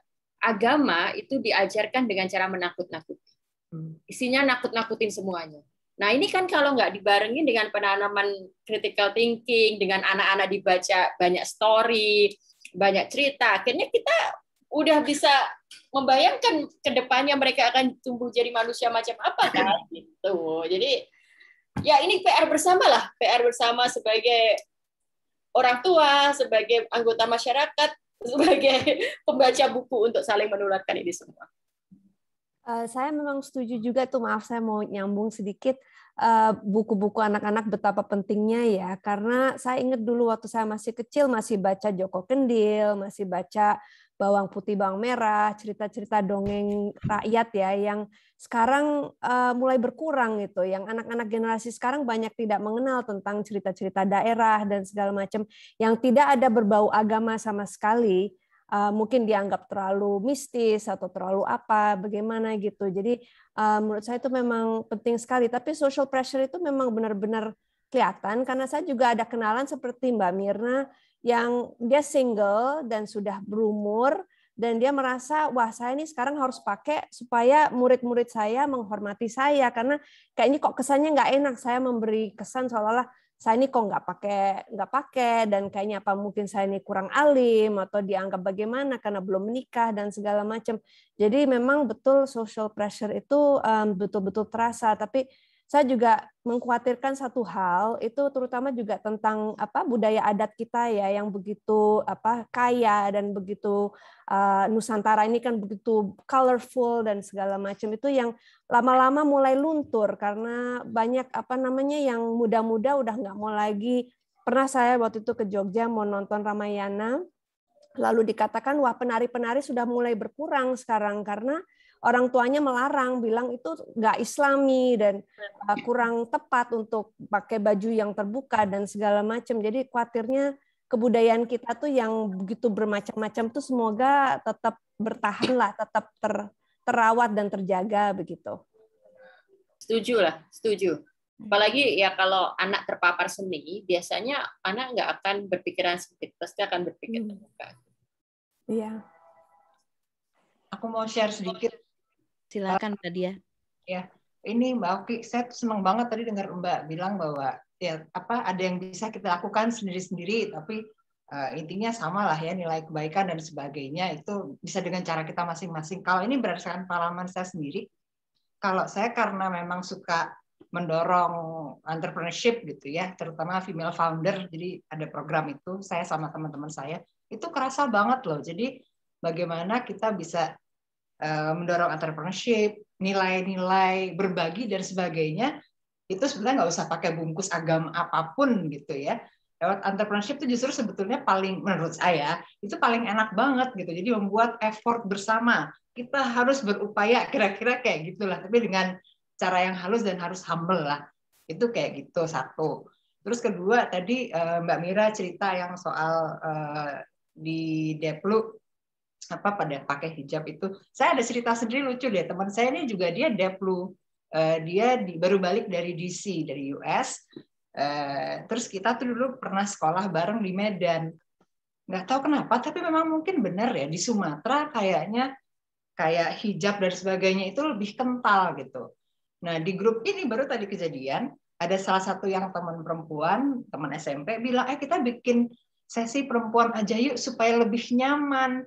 Jadi bisa nggak kelihatan. Saya sampai mikir, hah? Saya kan terus saya langsung spontan untuk apa ya? Saya langsung gitu karena saya ngerasa teman-teman saya laki baik-baik gitu loh di sini. Jadi menurut saya nggak perlu pakai hijab karena cowoknya yang uh, jerk gitu kira-kira gitu dan rasanya nggak nggak cowok Indonesia nggak jerk juga gitu loh menurut saya gitu teman saya orang Deplu ini loh malah yang bilang eh buat apa? Kita usah Arab Araban dia bilang gitu. Ini ini lucu aja sih saya jadi ngerasa kayaknya ada yang melihat memang urusan ke Arab Araban itu lumayan membuat nggak enak gitu ya. Saya sendiri ngerasa nggak enak. Saya orang Aceh juga sih by the way gitu loh. Jadi uh, urusan Arab itu juga di saya agak nggak apa ya secara budaya ada dekat sebetulnya. Kan orang Aceh terus malas pulang sekarang jadinya malah. Karena di sana begitu gitu deh pokoknya anyway mau cerita itu aja sih lucu gitu loh kayak Indonesia nih it's so exciting Mbak Dian kalau misalnya pulang ke Aceh do you wear pakai eh, ini hijab atau nggak perlu akhirnya nggak mau pulang Oh. Sejak sejak syariah berlaku, ayahku juga hmm. nggak hmm. pernah nyuruh pakai hijab. Hmm. Jadi dia bilang itu kan bukan urusan ketentuan peraturan daerah, dia bilang gitu. Itu mah personal kamu, nggak usah kalau nggak mau. Tapi it's your call ya, dia bilang gitu kira-kira. Dia hmm. nggak mau pulang ke Aceh. Hmm. Gitu. Ya sayang ya sebenarnya ya. Iya, padahal itu bagus banget loh dan apa ya sebetulnya bisa banyak yang ditumbuhkan tapi gara-gara hijab itu jadi nggak terlalu comfortable sih aku sih ngerasa gitu beda aja baik terima kasih semuanya. Sepertinya jam menunjukkan 20.32 sudah mulai malam. Kita asik keasikan ngobrol ini soalnya bisa panjang banget ya. Tapi for sure kayaknya kita akan kembali nih ke Mbak Oki karena banyak yang tertarik untuk membaca 86 yang apa itu kayak very inspiring Mbak Oki. Ya, dan terima kasih foto dulu, juga. foto dulu sekali. Oke okay. yuk yuk mari kita foto dulu um, untuk ya. bukunya online siap oh, langsung ya, bukunya oh pakai buku saya punya tunggu tunggu buku sampai covernya dulu hmm. ya ini siapa yang mau foto? Mau Inggita ya? Inggita biasa jagoan Inggita. Bentar, saya juga. Aku foto aja. Handphone. Apa? Oh, handphone. Oke, coba. Ini yang foto. Oh, Inggita lain bukunya. Lucu. Campur awal dia. Oke. Alright, I got it. Terima kasih banyak ya. Satu, dua, tiga. Oke. Tiga. Satu, dua, tiga. Oke, terima kasih banyak. Terima kasih. Terima kasih. Terima kasih banyak. Oke, ya. Oke, Oke. Oke. Langsung follow inspire Jangan bosan ya, Mbak Oki. Ya, seru diskusinya jadi saya ikut semangat dan senang. Oke, benar nih yang Terima kasih banyak. dibaca selanjutnya Terima 86 atau ada Thank you. Boleh kalau kalau mau memanfaatkan panasnya KPK kita bisa 86. Oke. Oke. Yang berikutnya 86. Kita, kita seret Mbak Oki ke perempuan Indonesia anti korupsi ya. Oh iya itu juga bisa kan mereka yang diseret ke sini untuk diskusi bareng. Siap. Oke. Bye. Terima kasih. Thank you. Terima kasih.